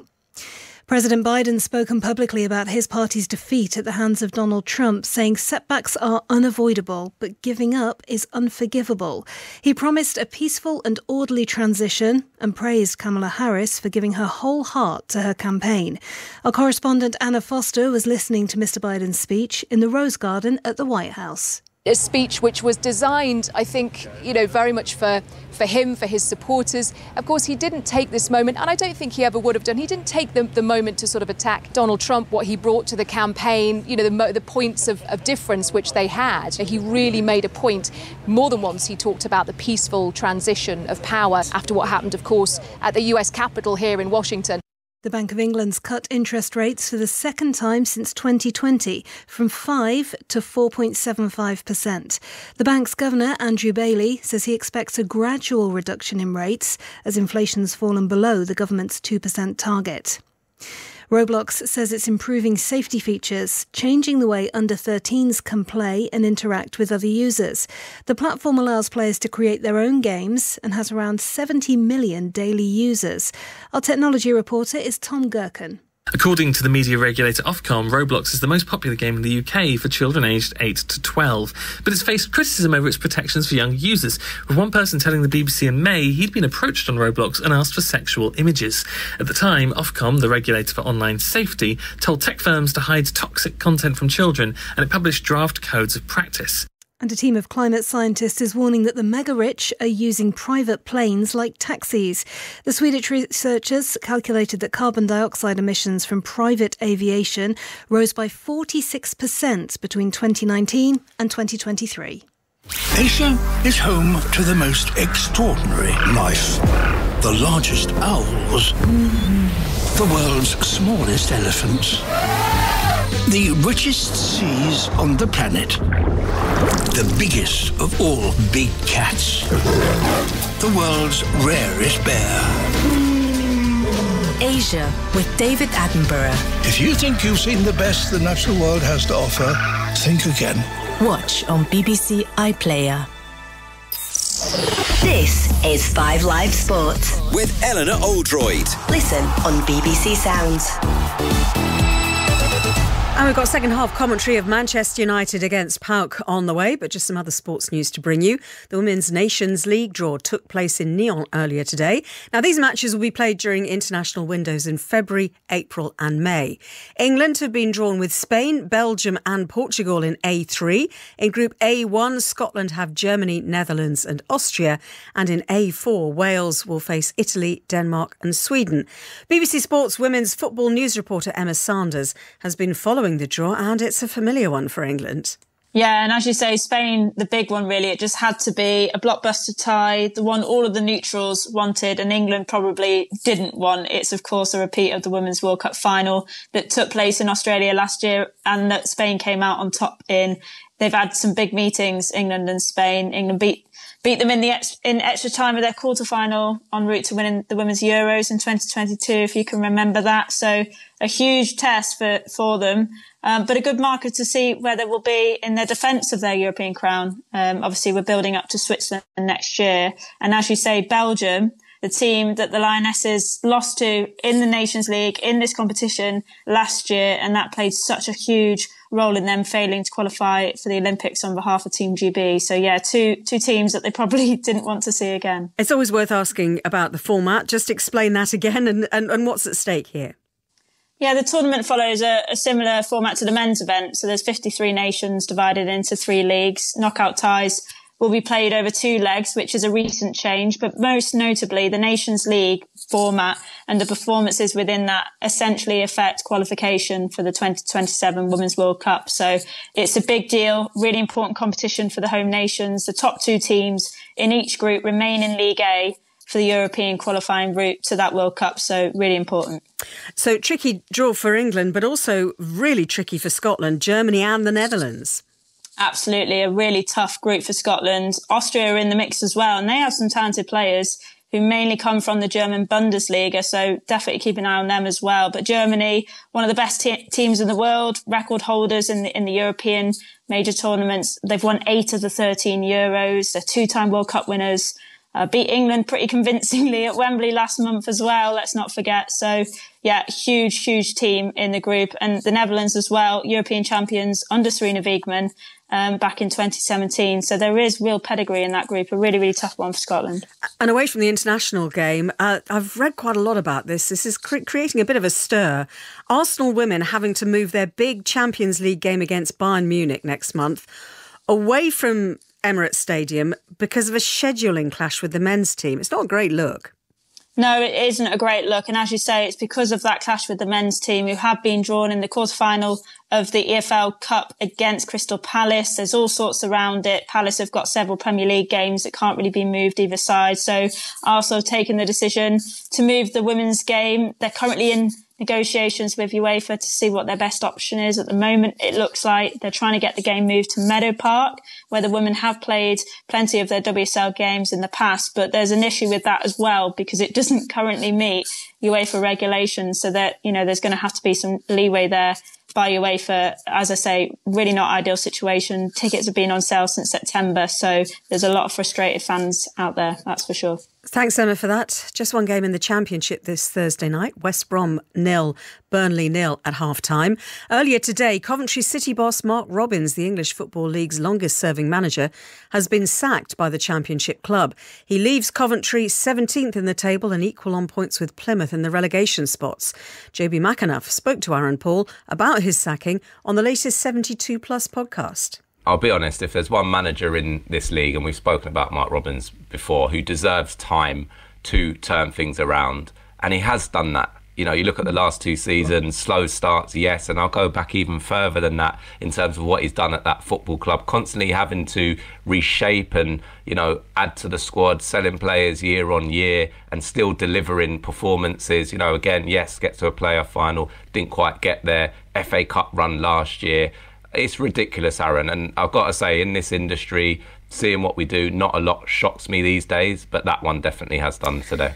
Well, you can hear a lot more on that uh, on the full 72 Plus podcast on the Football Daily feed right now on BBC Sounds. Alice Capsey is set to become a high profile casualty of England's group stage exit at the T20 World Cup when the squad for the Tour of South Africa is named next week. Capsey will not be part of the group for the T20 and test legs of the multi format tour in November and December. In tennis, defending champion Iga Swiatek has been knocked out of the WTA finals in Saudi Arabia after group rival Barbara Krejcikova beat Coco Gauff to secure her place in the semi finals. And Tommy Fleetwood shot a 10 under par 62 to equal the course record and lead by one shot after the opening round of the Abu Dhabi Championship.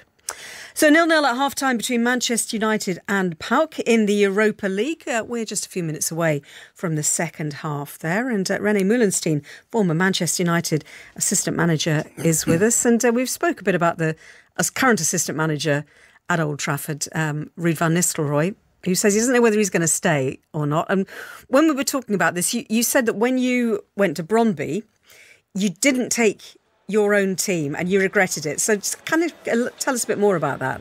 What yeah, because when you come into a new environment, you uh, yeah, you have you know you have to get to used to to the players, to the other members of staff, and they've got their own ideas. But the key is to making sure that you got your ideas and you need a few people with you assistant goalkeeping coach and probably a few others to make sure that that message gets across really, really quickly and it's a consistent message. Otherwise, you have to educate the other members of staff to then go to the players. That's why I can fully see where Ruben Amorim is coming from and and obviously he has to he if he decides to keep Ruud then he has to get to know Ruud Ruud has to mm. get to know him the way he works and that take a little bit of time you know so it's, it's more important that he has the people that he knows and they can all get yes. the players together than having that continuity between the players and somebody who's who knows the club has been around the club for a, a long time in, in different stages like like Ruud has yeah but uh, I think in some ways what what Man United needs is a you know, uh, a fresh look and a fresh approach.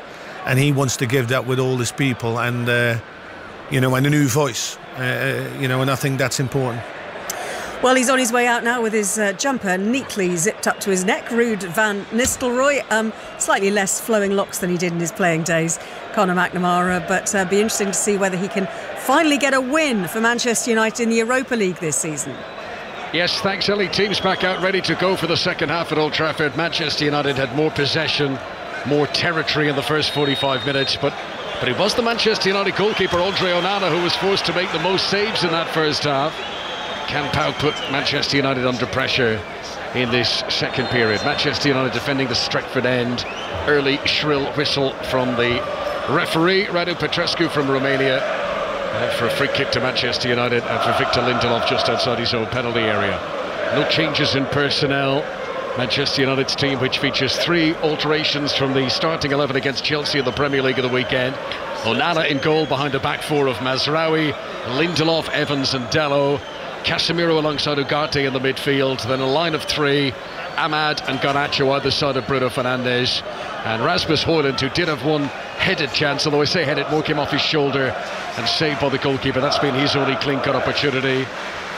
The visitors, PAOK, Croatian international Dominik Kotarski in goal. They've got Jonny Otto, formerly of Wolves. Thomas Kedziora, Omar Colley and Baba Rahman, formerly of Chelsea in the midfield. More on their team in just a moment as Manchester United come forward. Amad to the edge of the penalty area, rolled it in front of where he thought Bruno Fernandes was going to run, but the Manchester United captain had put on the brakes. He wasn't occupying that space. And PAOK regained possession. They've got Stefan Schwab and Magomed Ozdoyev in the midfield. Andrija Zivkovic, the Serbian international on one wing. Taison the former Brazilian international on the other. Mady Camara, who had one good shot saved out for a corner by Andre Onana in the first half. He's in the hole behind the striker Tarik Tissoudali. Onana has possession. Away to our left hand side. Rolls it short to Victor Lindelof. Camara sprinting after him. Here's Casemiro under pressure tries to play the ball up towards Bruno Fernandes. Not an easy one to receive, but he does get the touch. And now Mazraoui will spray it out to the left wing. And there's room for Garnacho bearing down on the penalty area. Dalot tried to pull it back for Bruno Fernandes. And it's a last gasp touch by Kedziora to put it out for a corner. That's where Manchester United continue to look at their most dangerous on the counter attack. Absolutely. It was the pass cross field from Mazraoui into the feet of Garnacho, the overlapping run from Dalot, the left back, and he actually looks to cut it into exactly the right area into Bruno Fernandes. Many of the visiting Greek media have been enjoying the Manchester United hospitality of the break. They're only making their way back to their seats now. It's a capacity crowded Old Trafford this evening. Plenty of Greek voices in amongst them. This is Ugarte's delivery towards the back post. Jonny Otto out there heads it away ahead of Garnacho, but it comes straight back to the Argentinian. His cross low into the penalty area, left by Lindelof. Casemiro tries to shoot, and Baba Rahman clears it away. But that must be five times in the game that Manchester United have sold dummies, allowed the ball go through legs. Here's Garnacho to the byline. Jonny Otto slides again and puts it out for a corner. Corner to Manchester United, nil-nil against PAOK on five live. Yeah, I'm smiling because I agree with you, Conor. There's been about four or five dummies Too or many, overs. Well, clearly something they've been doing on the training ground because you don't see that many so often without Not a bit of a accident, focus on yeah. it, and must be the Ruud influence. It's very five-a-side. That's what I would say about about these little dummies and shimmies from Manchester United. As uh, it's played towards Amad, edge of the area by Bruno Fernandes. Clever idea. He didn't put enough on it. He was playing it to the player on the edge of the box, but it was too soft. Needed to be firmer. Ugarte swings it back out towards Bruno Fernandes, who had taken the corner. Zivkovic in ahead of him, and the ball is kept by Bruno Fernandes to take a throw it himself. I think if you score two or three goals, then you can do all those dummies and leaving your legs open and letting the ball go through. But when it's still nil-nil, it comes across as unnecessarily fancy. And it's become a little bit predictable now. Mm, good point. Here's Amad shot deflected. Out comes the keeper off his goal line to ensure it doesn't go for the corner. And Kotarski gets there first, wearing a sort of teal-coloured, bluey-green away to our right-hand side. Højlund comes to put pressure on him, forces him to pick the ball up. Manchester United are playing the second in a run of four home matches in a row. Leicester were beaten here in the League Cup last week. That's the third, of course, it is now Chelsea in the Premier League the weekend. The third game tonight against PAOK, and, and Leicester come to be the visitors in the Premier League here on Sunday. Four home matches in a row. They'll be hoping to remain unbeaten in all of them for Ruud van Nistelrooy, and then it's Ruben Amorim time. Here come Manchester United forward. Over the halfway line with Diogo Dalot. Gets it back again from Garnacho. Then the looping ball over the top, which Garnacho is cantering after. Jonny Otto slow to react this time, but he's done well to recover. Garnacho tries to spin him. Jonny Otto stands his ground. Garnacho has to play it back again. Back to Diogo Dalot, some 15 yards outside the penalty area. Gives it back to Garnacho. Chance to steady himself. Low ball to Bruno Fernandes. Now the delivery. Amad leaves. Header on target. It's here. Amad Diallo gives Manchester United the lead. A header from the smallest man on the pitch. And he slides at his knees and he celebrates in front of the travelling PAOK fans. It was a good delivery from Bruno Fernandes. And five minutes into the second half, Manchester United finally take the lead tonight. Manchester United 1 pound nil. Amad Diallo. What a header that is. The back post area, Manchester United have targeted that all evening off crosses. It's Bruno Fernandes lifting the ball into a beautiful area, and Amad's header is absolutely pinpoint back across the face of goal. Enough trajectory on it that it drops inside that far post. A superb header from the best player on the pitch so far tonight. Now, they're all complaining. So, what are they complaining about? Is it offside, I wonder? As Bruno Fernandes plays it into the penalty area, Amad is miles onside. It can't be that. Could there be anything? I don't know what they're complaining about there. We've seen the replay of the goal again. Amad. He's up against Baba Rahman. I mean, maybe could you say his hands are on the defender's shoulders? Nothing that you would say of any force. I just wonder whether they're looking at Rasmus Højlund. Goal stands. Referee points to the centre circle. Amad gets his second goal of the campaign.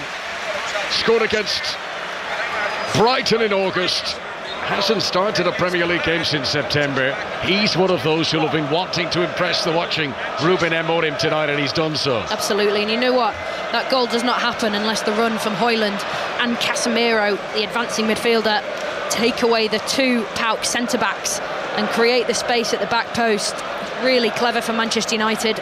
Unselfish running we spoke about in the build up to this game. The unselfishness required to score goals. We've just seen it there from Højlund and Casemiro. It is a breakthrough for Ruud van Nistelrooy's team tonight. Now, can they build on it? Manchester United have only scored two first half goals in the Premier League this season. Zivkovic comes forward for PAOK on the other end and sends a left footed shot wide to the target, but he was away from Dalot for a moment there. That was dangerous. Yeah, he's been the most dangerous player along with Camara. Zivkovic on that right hand side for PAOK. He's looked a real threat. He stabs at the ball inside the 18 and he looks up to the skies. He knows he should have done better. But that's Manchester United. As soon as they take the lead, they find themselves so vulnerable. It's a really poor execution from Zivkovic, but a player who's looked dangerous tonight. So Manchester United's fourth game in the Europa League this season. They've now scored in all four matches. They have yet to win one of these. Is tonight going to be the night? The assist for the goal for Bruno Fernandes, his first Europa League assist of the campaign. Free kick to Manchester United, midway inside their own half. Dalot takes it back to Jonny Evans. This is Five Live for the BBC. Earlier on this evening, defeats for Tottenham away at Galatasaray. Rangers were held 1-1 at Olympiacos. Chelsea are running away with it in an 8 o'clock game in the Europa Conference League against Noah. It 6-0 to Chelsea at half-time.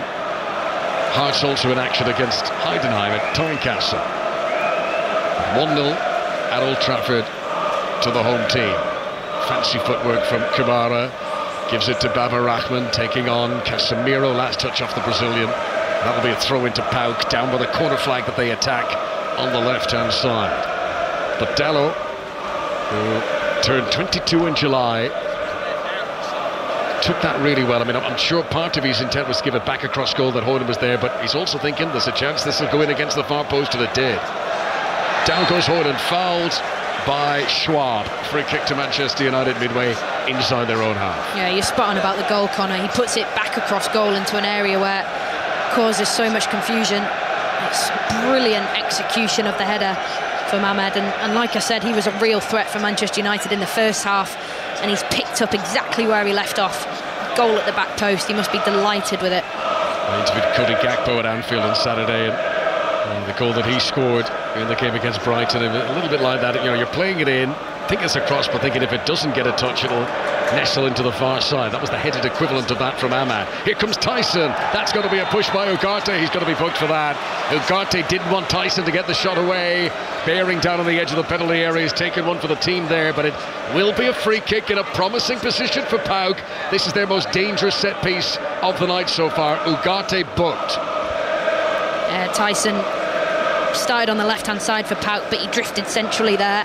He picks the ball up and just gathers speed, dribbling beyond Manchester United's midfield line. And Ugarte has to make some sort of challenge because no centre back stepped out and engaged with him. And you can see he's disappointed with himself, Ugarte. He's been brilliant. Hopefully, that doesn't change the way that he plays. First booking of the evening for either side. Manuel Ugarte, who played for two seasons under Ruben Amorim at Sporting. They won the 2022 League Cup together in Portugal. We'll go for an update at Stamford Bridge in a moment, but we've got to stay for this free kick here. Taison looks like he fancies it. Schwab is standing at over two, 10 yards outside the penalty area. Central location. Onana knows what's coming. I'll be really surprised if they dink this. This will be a shot. Taison and Schwab. Right footed option and a left footed option. And Schwab runs up to it. It's left footed, it's low, it's an easy save for Andre Onana. No power on that at all. Back to Stamford Bridge. Chelsea, Noah, John Southall. Would you believe it, Conor? Still 6 0. Chelsea 6, FC Noah nil. They have had the chances, though. Felix with a toe poke, saved by Cancarevic, the keeper, and then Nkunku also just denied as well. Chelsea 6, Noah nil. Just a strange incident here as Onana tried to come out. We mentioned the free kick had gone in really softly, and, and as he came to try and throw it, there was a, a strange manoeuvre by Tissoudali who just sort of ran and tried to, you know, not quite rugby tackle him, but wrapped his arm around him and wouldn't let him run forward, which the referee had to come across and, and sort out. And Tissoudali, for, for nothing there, has picked up a yellow card. That is completely needless from his point of view. So Ugarte and Tissoudali both in the book. Let's go back to Tynecastle, to Kenny Crawford. 55 minutes gone, Conor. Hearts nil, Heidenheim nil. Remember, both these sides looking to make it three wins from three in this competition, in this campaign. Hearts really forced issue in the first half. They're doing the same in the second, although the Germans with a little bit more possession in this half, and they do have quality. Finely poised. Hearts nil, Heidenheim nil. Amad crosses from the right hand side for Manchester United. Stefan Schwab is on hand to clear it out for a throw in. Throw in to be taken by the captain Bruno Fernandes. Gets it back from Mazraoui. Taison is across to put it out for another Manchester United throw. So Christian Eriksen has gone for a, a warm-up jog. Marcus Rashford is down there too. Zirkzee. Four or five Manchester United subs warming up. Lisandro Martinez. Play continues. Diogo Dalot tries to shoot from the edge of the box and well, it was speculative and he was never in danger of scoring. Yeah, that's really poor execution from Dalot.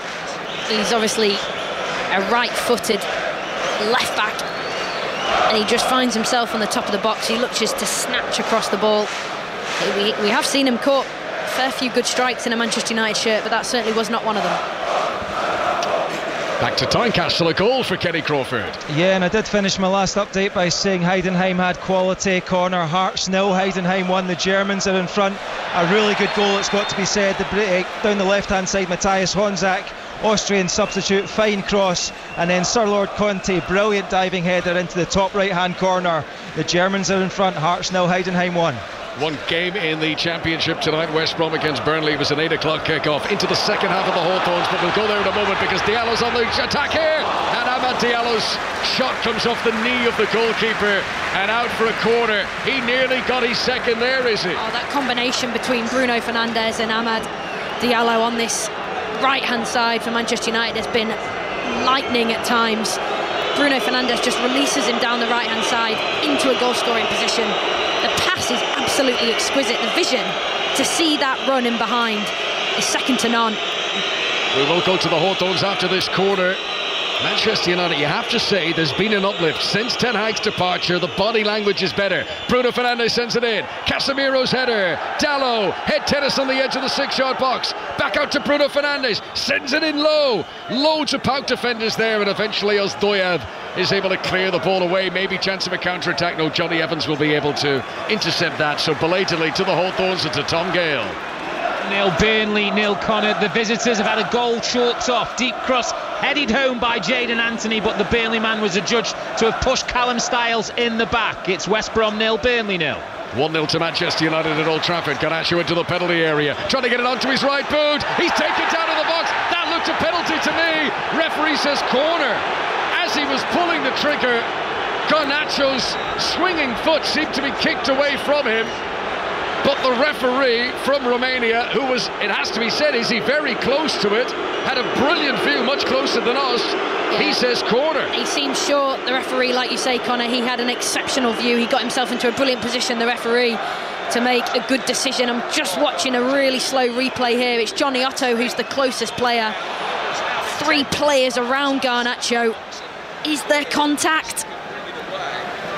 I've seen them given. Yeah. I have seen those given. Absolutely. I remember there was one last season. Um, Kalvin Phillips when he was playing with West Ham, and it's one where, as a defender, when, when you go to kick the ball and you, you plant your foot in front of the attacker, you know, although their collision is into you, have you caused them you know, to, to, if you cause the connection by putting your foot there. I mean, it's not as cut and dry as you think. As Bruno Fernandes off balance shoots wide of the target, you can see why Manchester United ferociously appealed for that.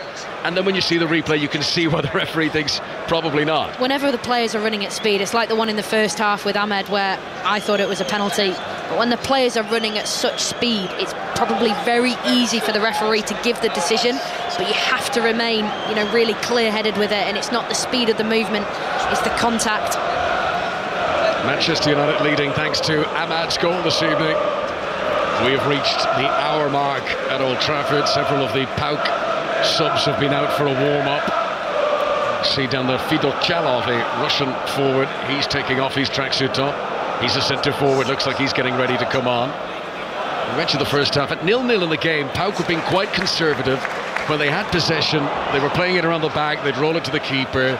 They weren't looking to surge unless it was absolutely on. But now that they're 1-0 down, will they grow a bit braver in the game? And if they do, will that leave gaps for United? Here comes Bruno Fernandes, unlucky. Tried to cut it through into the path of Garnacho, but intercepted by Jonny Otto. Yeah, it's interesting with Amad on the right-hand side. I said earlier that he's probably been the best player for Manchester United this evening. And in this second half, he's had a lot of joy. And his right back behind him, Mazraoui, has actually started this second half deeper. He's not been going as advanced and that's just given Amad more space and time to go 1v1 with his fullback.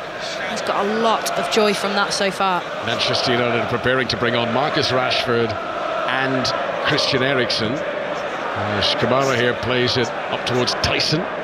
Taison leaves it for Baba Rahman. Camara tried to return it down the channel, but it goes straight out of play. That was the that was the old man's battle there. Jonny Evans against Taison, over 70 years of age between the pair of them. Right.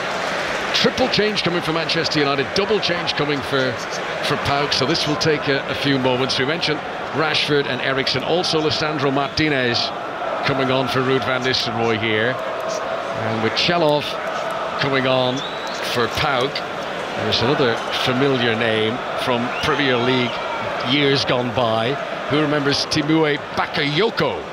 former Chelsea player who made his name at Monaco. Chelsea played 40 million pounds to sign him in, in 2017. Six years on the books at Stamford Bridge, out on loan for five of those six years. Didn't work out for him at all in, in uh, South London. Um, now playing in Greece with uh, PAOK and about to come on here at Old Trafford. So there'll be five substitutes all made in, in one sweep. Three of them for Manchester United, two of them for PAOK. So this is Colley inside the centre circle. We've got Rene Meulensteen watching the game for us back in the studio. Very important goal for Amad. Rene, what have you made of the second half so far? I think I think United. Um, I think there's a chance and a save by Onana. Sorry to jump back in, Rene. That's about as big a chance as the visitors have had tonight. Tissoudali, seven or eight yards out, should have scored. Rene. I was uh, I was just to say that Ruud must have been uh, disappointed that he didn't go, didn't take any of the chances. I thought there were some poor decisions there in the final third, but they've come out with even more energy the second half. I think they moved the ball quicker. The pass from Fernandes for Diallo was outstanding. Great, great header, great goal, but he need to get a second to put the game to bed. Thanks, Rene. So here come the Manchester United changes. Uh, Garnacho makes way for Rashford. Ugarte will depart for Eriksen. Martinez is going to come on in place of Diogo Dalot.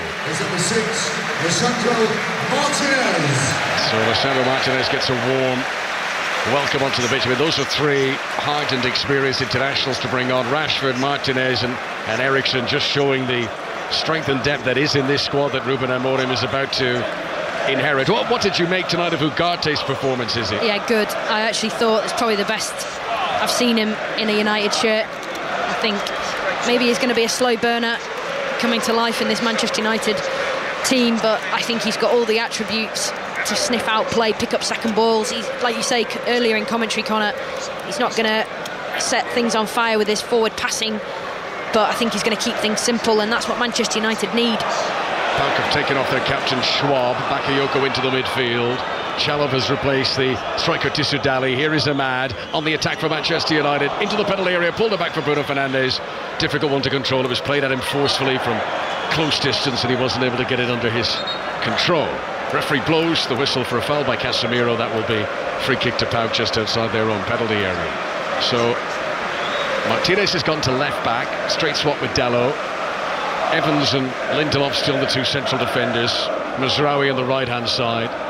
Eriksen into the centre of the midfield. And Rashford in his favourite position off the left wing with Amad Diallo on the right. 1 0 to Manchester United. This isn't over yet. There's too slender a margin here for Ruud van Nistelrooy to be anyway relaxed about this and still 25 minutes plus the stoppages to go. Well, I think that chance for, for Tissoudali, who's the striker, he's just been replaced. That was his last involvement that was nailed on, had to be a goal. Striker in any European competition should be finishing those types of chances. Taison, right wing now, cuts it back low, straight to Casemiro, who's well positioned. That was poor from Taison. Now, can Manchester United counter? Rashford, good ball over the top. Amad runs after it. Colley beats him to it. Much taller defender, able to stoop in with his head, nudge it away, and then plays it left footed up towards Fedor Chalov, up against Victor Lindelof. And then Bakayoko for the first time involved, neat and tidy in the midfield, pushes it on to Taison. PAOK have got a second wind, you know. They're coming forward with more gusto now, and I think their Romanian coach has decided, look, we're not going to just settle for a 1 0 defeat here. We believe we can get back into it, and it's worth the risk. Jonny Otto has taken over the captain's armband since the departure of Schwab. Here is Colley, one of the two central defenders for PAOK, plays a 1 2 with Camara. Colley then to his right hand side to Thomas Kedziora. Johnny.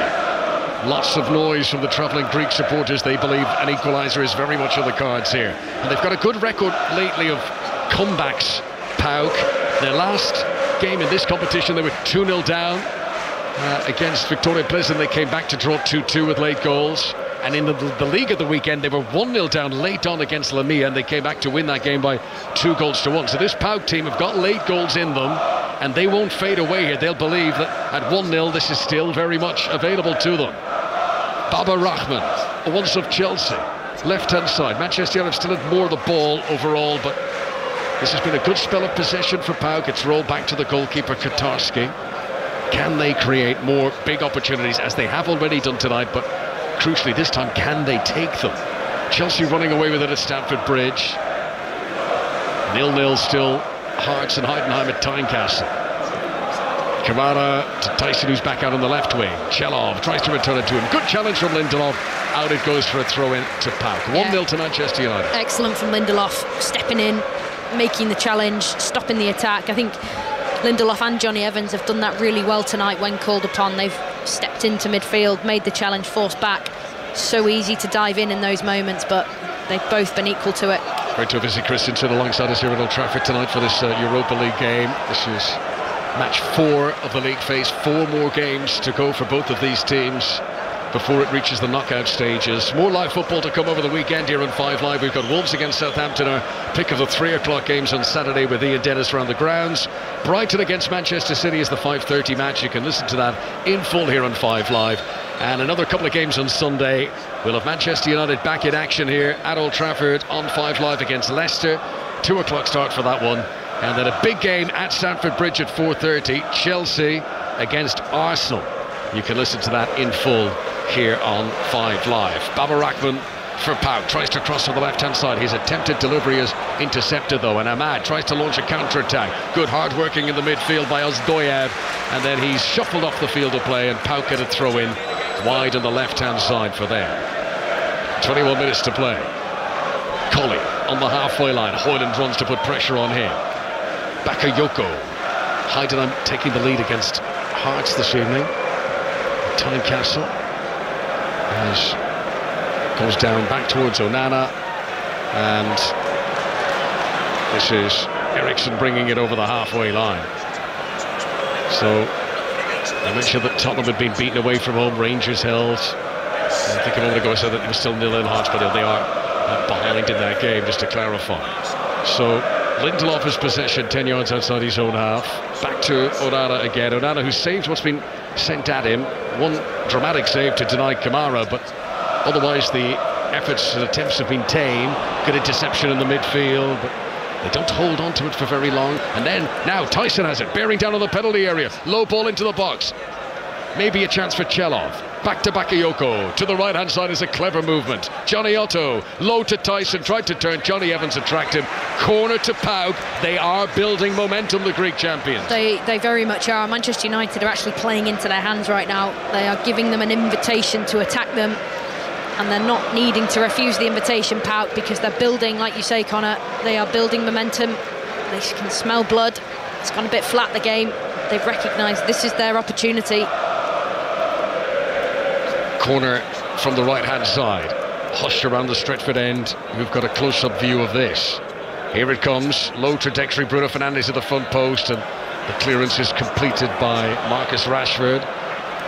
Amad was the only player who stayed forward. He's done well, jumping to head it on for himself. Jonny Otto comes sweeping across from right back to the left back position.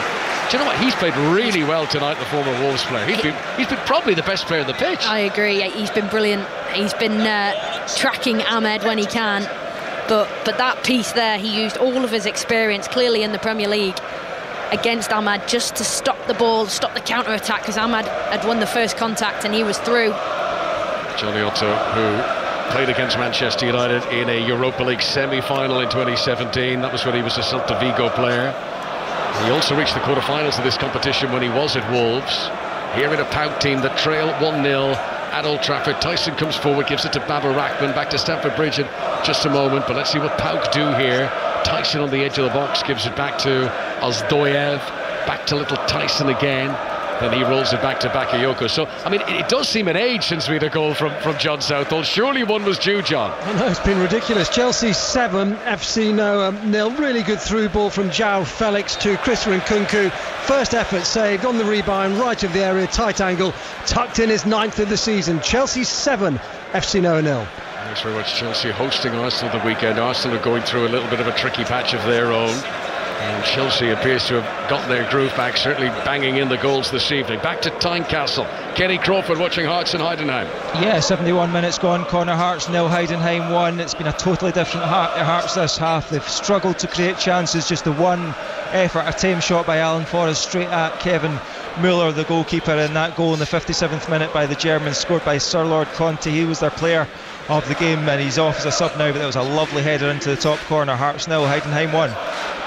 Tomorrow evening we've got Autumn Nations commentary, Rugby Ireland against New Zealand, 10 past 8 kickoff, full commentary here on 5 Live of that one. This evening it's Europa League and Europa Conference League. We're concentrating on Manchester United leading PAOK thanks to Amad Diallo's header. Here's Rasmus Højlund, 15 yards inside his own half, challenged by Ozdoyev and PAOK win it back again. And Manchester United have been forced to do a lot of defending here, is he? Yeah, Højlund getting a rare touch. Amad, quick feet, escaping away from the uh, the defensive structure that Manchester United are in. They're being forced in by PAOK. Rasmus Højlund, I think that little piece of involvement there kind of sums up his performance. He's been a little bit off the pace, just a little bit. I think he's better when he's running in behind. He needs to start developing that ability to link up play, get his wingers in and around him, play off them, get himself in the box. Sandro Martinez, who's never knowingly far from trouble, um, got involved in a a differing of opinion with Andrija Zivkovic there. They were squaring up to each other. The referee held a play to go across and have a word with the two of them. I mean, no one raised arms or anything like that, but they were just sort of locking antlers as PAOK prepared to make another change. There is uh, Kirill Despodov, who's a Bulgarian international. He's getting ready to come on a midfielder. Scored against Shamrock Rovers in the playoff for this competition, the Europa League, back in August. Sandro Martinez, not a great touch, but Jonny Evans is able to clear it for Manchester United. Rashford keeps it in play. Eriksen, who's been in the goals in this competition, tries to flick it forward. And Rashford, who after he'd flicked it on had been fouled, referee decided there was no significant or sufficient advantage for Manchester United there, so he's brought it back for a Manchester United free kick. So here comes the change, and Despodov is going to come on in place of Mady Camara. Camara, who had some great touches in the first half, he's got a bit quiet in the second period. You can see why his coach is making this change now. Yeah, he had a good impact in the first half, Camara. He got himself into some really nice positions in behind Tissoudali, who was the nine in the first half. Got a good shot off as well, forcing a save from Onana, but his race his run tonight. Are Manchester United going to get their first European win of the season? 1 0 they lead. The clock ticking on into the final quarter of an hour now. Bakayoko does well against Mazraoui. He's been good since coming on, the former Chelsea man. Bakayoko. Challenged here by Casemiro, fouled by Casemiro. Free kick to PAOK on the halfway line. Manchester United currently 13th in the Premier League. At this stage last season, they thought things were bad when they were in 8th. That's why the action has been taken by the board, the new owners, new part owners at least, deciding to change the man at the top. Erik Ten Hag's departure, Ruben Amorim, they didn't waste any time in announcing him. They've had to wait for his arrival.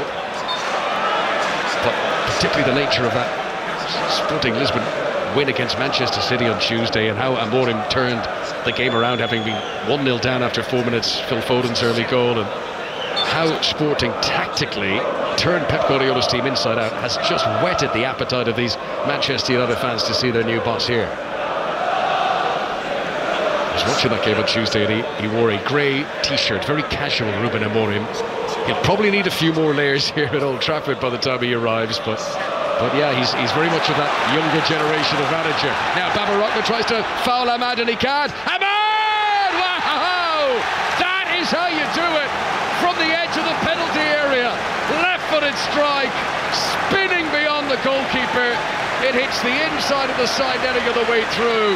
Two goals for Amad. It's the Amad Diallo show for Manchester United tonight at Old Trafford. Well, I'll tell you what, two brilliant finishes from him. Wow. All I can say, two pieces in this. The first one is the sheer strength and power and will to get away from the defender despite being fouled on multiple occasions. And the second part is the finish. He cuts inside onto his left foot. Yes, it takes a deflection, but yes, it's an absolutely brilliant strike of the ball from Amad and it caps off Still 15 minutes left, but it caps off what has been an exceptional individual performance from him. Second and third goals of the season for Amad. Quickly to Stamford Bridge, John Southall. This is for eight from the penalty spot. Christopher Nkunku straight down the middle. Chelsea 8, FC Noah nil. That record is still on. 13 is the Chelsea all-time record. Let's see if they could get a European win if they got the time to bang in a few more, certainly double figures appears on the cards the way that game has gone. But here, Amad with a quite wonderful finish. He's one of those who'll want to impress the new arriving coach. And just looking at the replay here, the scenes of celebration in the technical area, they were all there. Darren Fletcher, Andreas Georgson, Rene Hake. You know, the, there's clearly a bond and a good vibe between those guys who've had to step in to keep the ship afloat. And they're going to win this now. Mason Mount prepares to come on for the closing stages of the game here for Manchester United. He's been out with a head injury lately. I'm sure that will be greeted very positively by the Manchester United fans. Mount, who started the first two Premier League games this season in August, but he hasn't started in the top flight since, and he got a clash of heads recently that has kept him out of the last few games. Seventy-eight minutes played. 2 0 to Manchester United, both goals from Amad. Just wonder whether it'll be Amad who's the guy who's going to be making way. We'll have to wait and see. He's putting a real shift tonight. A lot of forward runs.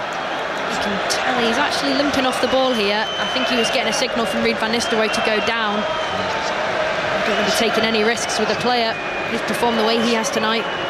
Yes, uh, of course, he'd love to go on and complete a Europa League hat-trick tonight, but with the Premier League game of the weekend and having put himself very much in contention to be involved in that, Amad will want to be wrapped in cotton wool. Now, Ruud van Nistelrooy is clearly saying, yeah. go down, and Amad didn't understand what he's saying. He came over.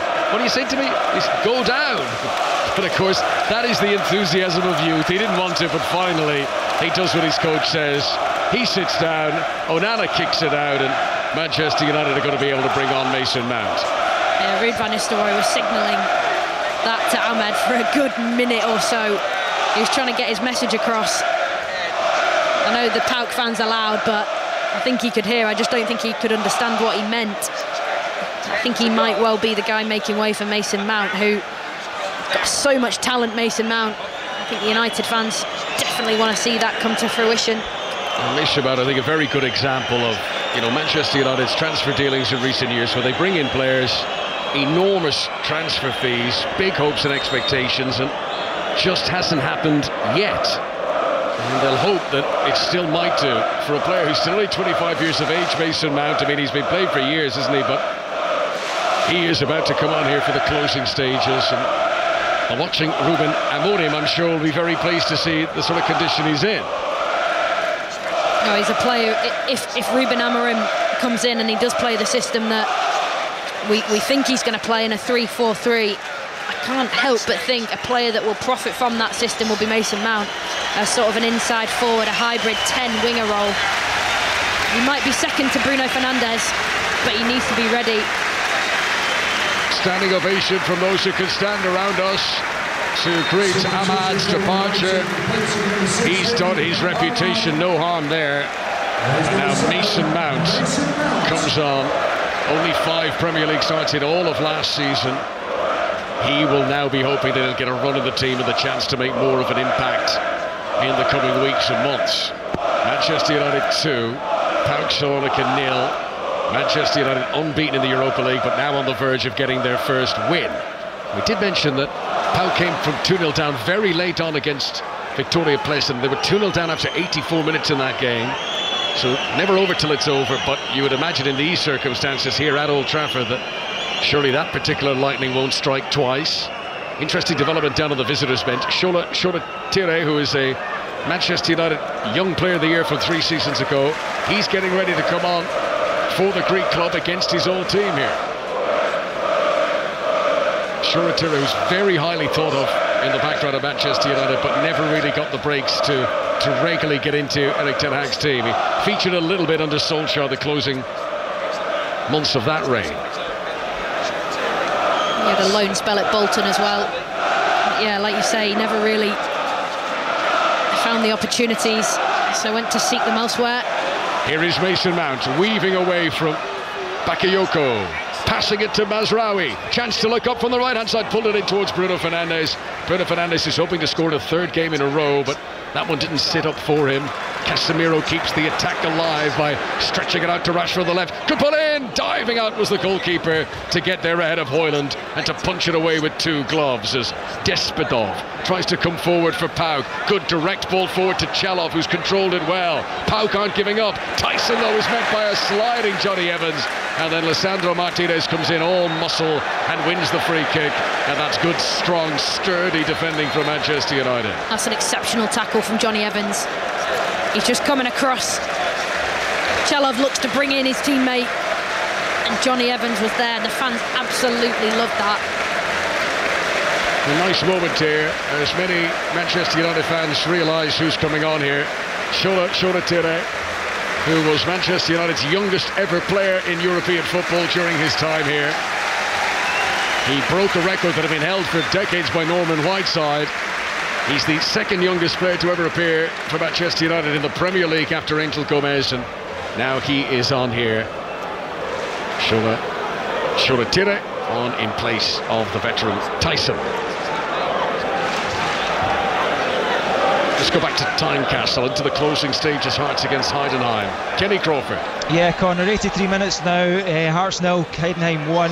And despite trailing Hearts really trying to get momentum here and have more possession, really good chance here for Lawrence Shankland. James Penrice cross from the left hand side. Shankland in at the six yard box, diving to meet it, got contact on it, but over the bar. So still Hearts nil, Heidenheim 1. From Tynecastle to the Hawthorns, West Brom against Burnley, the night's only game in the Championship. Tom Gale. Where it's very nil-nil, Connor, but Scott Parker's visitors knocking hardest on the door. Ball fell to fullback Lucas Perez, edge of the box, let fly with his left boot, hit the base of the post. It is West Brom nil, Burnley nil. Thanks, Tom. Six minutes of normal time to play at Old Trafford. Manchester United leading PAOK by two goals to nil. Both goals from Amad if you're just joining our coverage. One a header, uh, the other a brilliant shot from the edge of the penalty area that he will enjoy watching the replays back of that over and over again. Shoretire gets a touch, but Casemiro slides in and fouls him. Free kick. Oh, yellow card for Casemiro for that challenge on his former teammate. If there was ever a Casemiro-like thing to do, that that was it. Sliding tackle, misses the ball, and he just uses his hand to stop the progression of the ball going forward for PAOK. And he acted all innocent to the referee. He knew exactly what he was doing. Manchester United got Casemiro alongside Eriksen in the engine room of the midfield at the moment. Otto for PAOK, into Bakayoko. Over to Shoretire on the right wing now. But Manchester United have got plenty spring in their boots. Even this late in the game, they will chase and hound and press PAOK, and they're not going to let this two-goal lead slip without a fight tonight. This is Colley, left-footed ball, trying to send it cross field. Not a bad ball at all. Picks out Despodov. Wants to play a 1-2, but can't get on the other end of it from Jonny Otto. PAOK will get a throw in, level with the edge of the penalty area that they attack down the right-hand side. It's only four and a half minutes of normal time to go now. Jonny. Near the centre circle. To the near side to Baba Rahman. Rahman, who's been actually PAOK's joint top scorer this season. No mean feat given he's a defender. This is Ozdoyev. Out towards the right wing and Despodov once again. Sandro Martinez has looked comfortable in that left full back position. And he wins possession back for his team once again. You mentioned about, you know, everyone's suggesting Ruben Amorim is probably going to go to this 3-4-3 formation. Ruud van Nistelrooy was asked whether he'd been in contact with Amorim, whether Amorim wanted him to try anything in these games, and he said no. He said there won't be any contact until he comes. Yeah, they've, they've shifted to a back three. Manchester United have in the build-up. Mazraoui in the first half in particular went really, really high like a right winger. Amad in front of him tucked inside a little bit, so they were building with a back three. But it's interesting when you highlight Martinez on that left back position right now that that is integral in my opinion, having some balance on that left hand side. Obviously, absence of Luke Shaw. I wouldn't be surprised if that were to be the first area of recruitment that Manchester United target under the new manager. Højlund looks to be offside, but there's no flag yet. He's running into the penalty area. Rasmus Højlund doesn't score anyway, and no surprise to see the flag go up. It's one of those where it's actually not the official's fault. That's the instruction they're given, but we sort of all knew he was offside and had to go through the motions there. Yeah, it was a country mile offside to let it progress for another 15 seconds or so. But that's where Højlund is at his best, in my opinion. I watched him play in the Euros in the summer for Denmark, and he was so effective, especially against England, playing off the back shoulders. Last line nine, I like to call them, where he spins into the space in behind, and that is the first time tonight we've seen him in that area. And, and that is a good point. Are Manchester United using Rasmus Højlund uh, uh, efficiently and effectively in your in your view? Not not yet. But I, I, what I like about him is his adherence to the task. I think he, he if, if anyone sees the second goal back, sorry, Amad's first goal back, his role in that is key, although no one would notice it. Here's a Manchester United chance. Bruno Fernandes has picked up Mason Mount here. He gets within 10 yards of the penalty area, tried to set up Rashford, nearly did. Kedziora made the interception. The loose ball has fallen to Bruno Fernandes, and then a, a, cross of wires because Bruno Fernandes passed it to Rashford. It's a good pass.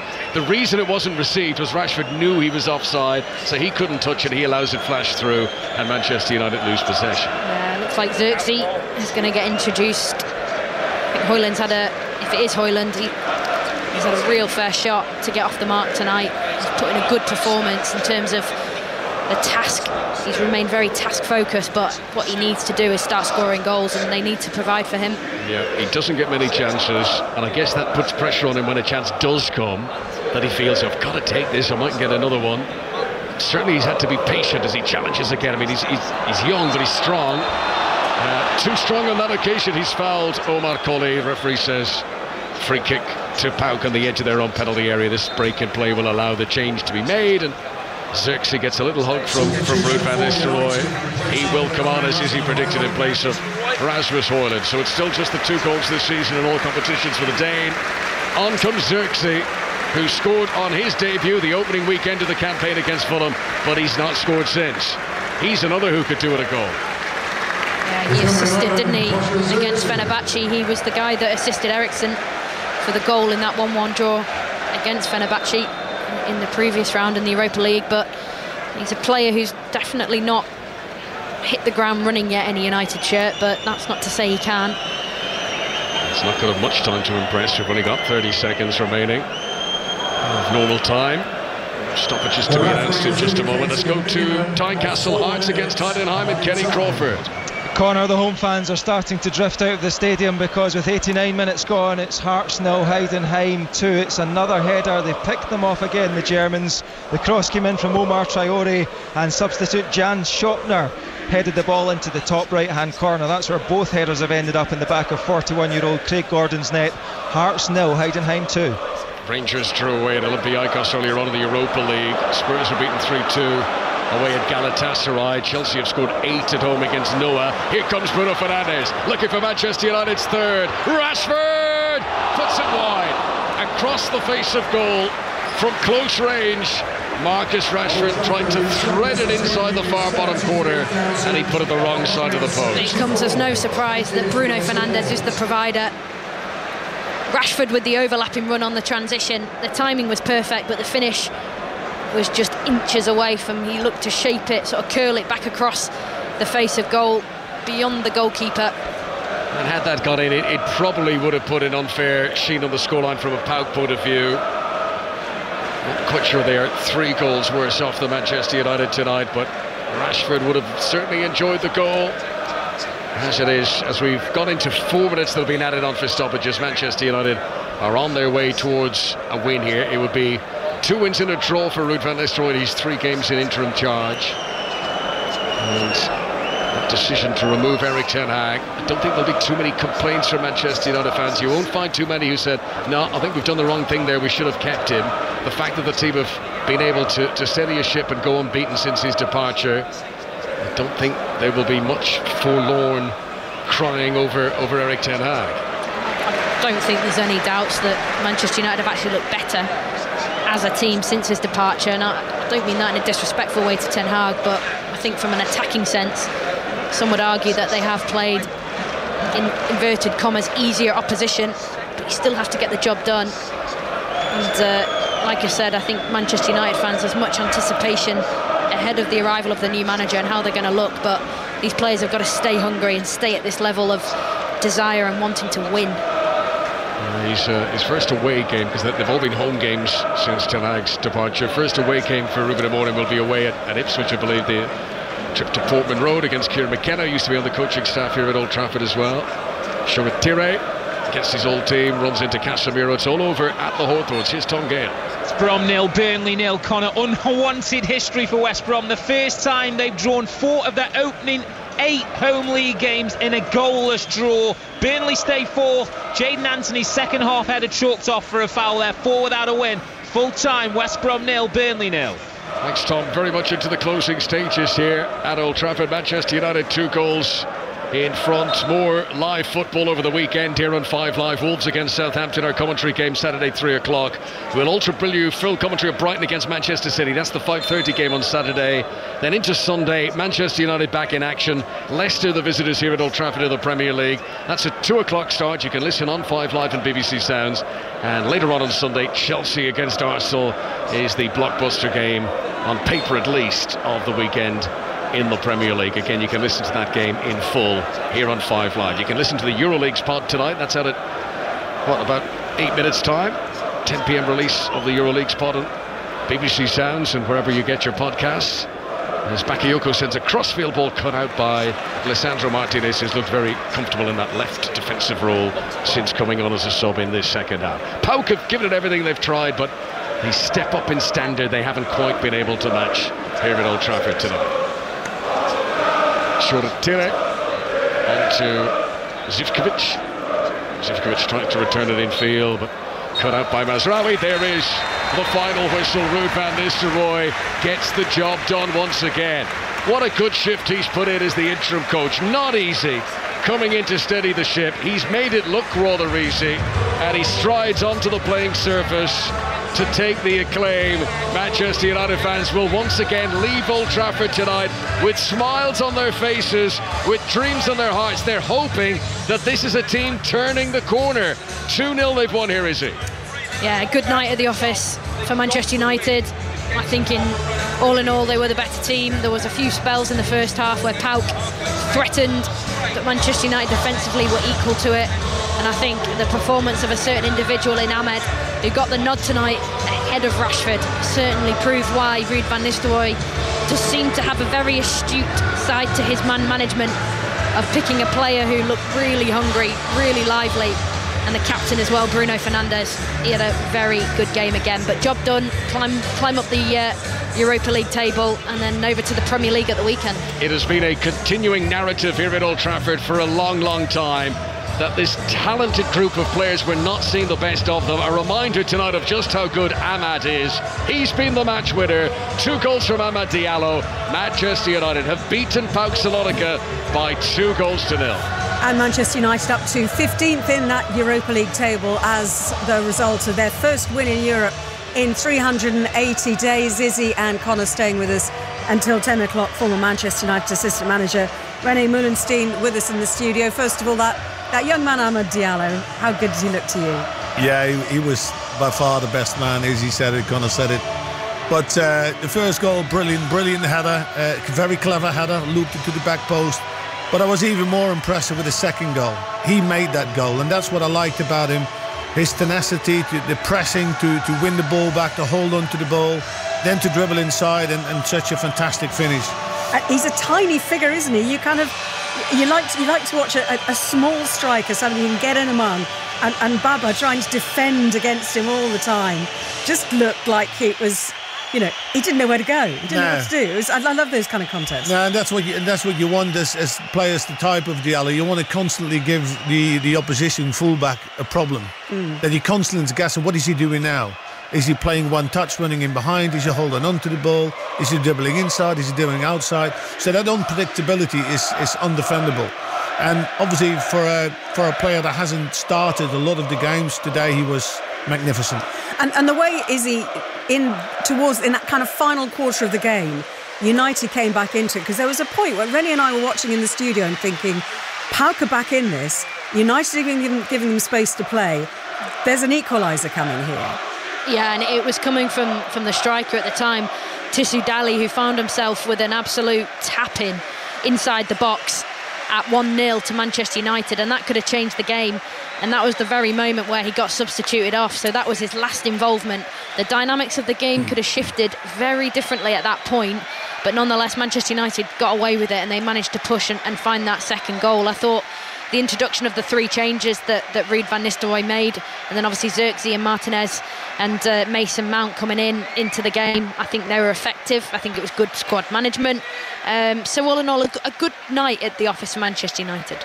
Yeah, I, th- I thought Izzy as well. Um, when looking at the game around that 65, 70 minute mark, where I thought to myself, why is United again just falling back a little bit? You know, giving PAOK all that you know that space to play and, and, and try to to create and carve a chance out. But a goal from Diallo came exactly at the right time, and that was game over. But you said it, I think, before as well, and I do feel it is. It does feel like there was a different feel about the team, a different kind of energy, a yeah. bit of a, a, bit of more freedom. You know, but there's still this lack of. I think a little bit of the quality in the final third. I thought today there were plenty of moments where I thought they made poor decisions. But eventually they kept going. I thought the pressure in, in earlier the second half was really good. They kept that pressure up. And, and then Diallo got the goal. So, uh, yeah, it, it, it, it almost is like that, you know, you start to enjoy again watching them. And Connie, you made a comment as well about after that second goal went in, the atmosphere on the bench, you know, Ruud van Nistelrooy and Darren Fletcher and the players around. And actually, you know, we were commenting on the studio, just chatting between ourselves, Rene and I, about, about some of the body language of the players, that that seemed quite quite low. But just watching the celebrations now on the screens here, there just feels like there's just a bit more of a buzz around the stadium yeah, and the team. You know when someone gets a massage on their shoulders, you say you're working out the knots. I think that's how it feels for Manchester. This place has been coiled up. It's been tense. It's not been, you know, there haven't been smiles on faces. They've all been grimacing and sort of, you know, squeezing their body up. And then suddenly there's a little release and they look more relaxed. And I think that was summed up by the celebrations down there. Um, you know, as I mentioned just a few minutes ago, there's so much talent. Even the coaching staff, the players, the, the young team coming through. Manchester United Football Club have been underachieving on a huge scale, and, and that does bruise the egos of these people who know that they've got the talent to do an awful lot better. And then when they get wins and they put little runs together like they're doing now in terms of not losing games, that's when you see them in their natural habitat, if you like. You see the smiles return to the. Amad is down on the pitch here getting interviewed, and he looks absolutely delighted with himself Um, yeah, th- there is a mood shift here that I'm. And I, look, I, I, do. I think we should say this from Erik Ten Hag. I think he'll be looking from afar and he's thinking, "Well, hang on, where was that work rate when I was there? Where were these wonder goals? Where was the man drilling it in from miles? Uh, Casemiro scored a world class goal in the League Cup last week. Where was that? Bruno Fernandes didn't score at all this season until Ten Hag left. He's now got three goals in his last three games. You know, Ten Hag will say it's all well and good that you're smiling and happy now, but you know, wh- where was that last week? Ultimately, it's the manager's job to, to get those performances out. Ten Hag wasn't doing it. Ruud van Nistelrooy is, and that I'm afraid is football. And I think I think Connor as well, what you said with getting the nuts out of the shoulder. Uh, Ruud knew, I think, probably where those nuts were, and I think he's used his time really, really well to address the players, to speak to the players in a certain way. It's very clear Amorim is coming in, but he has said to the players, "Listen, I've got four games with you guys and we need to fix those things because it needs to be fixed quickly. And he's done a great job. Thank you so much, Rene, again for being with us in the studio. Thank you so much to, to Connor and to Izzy at Old Trafford as well.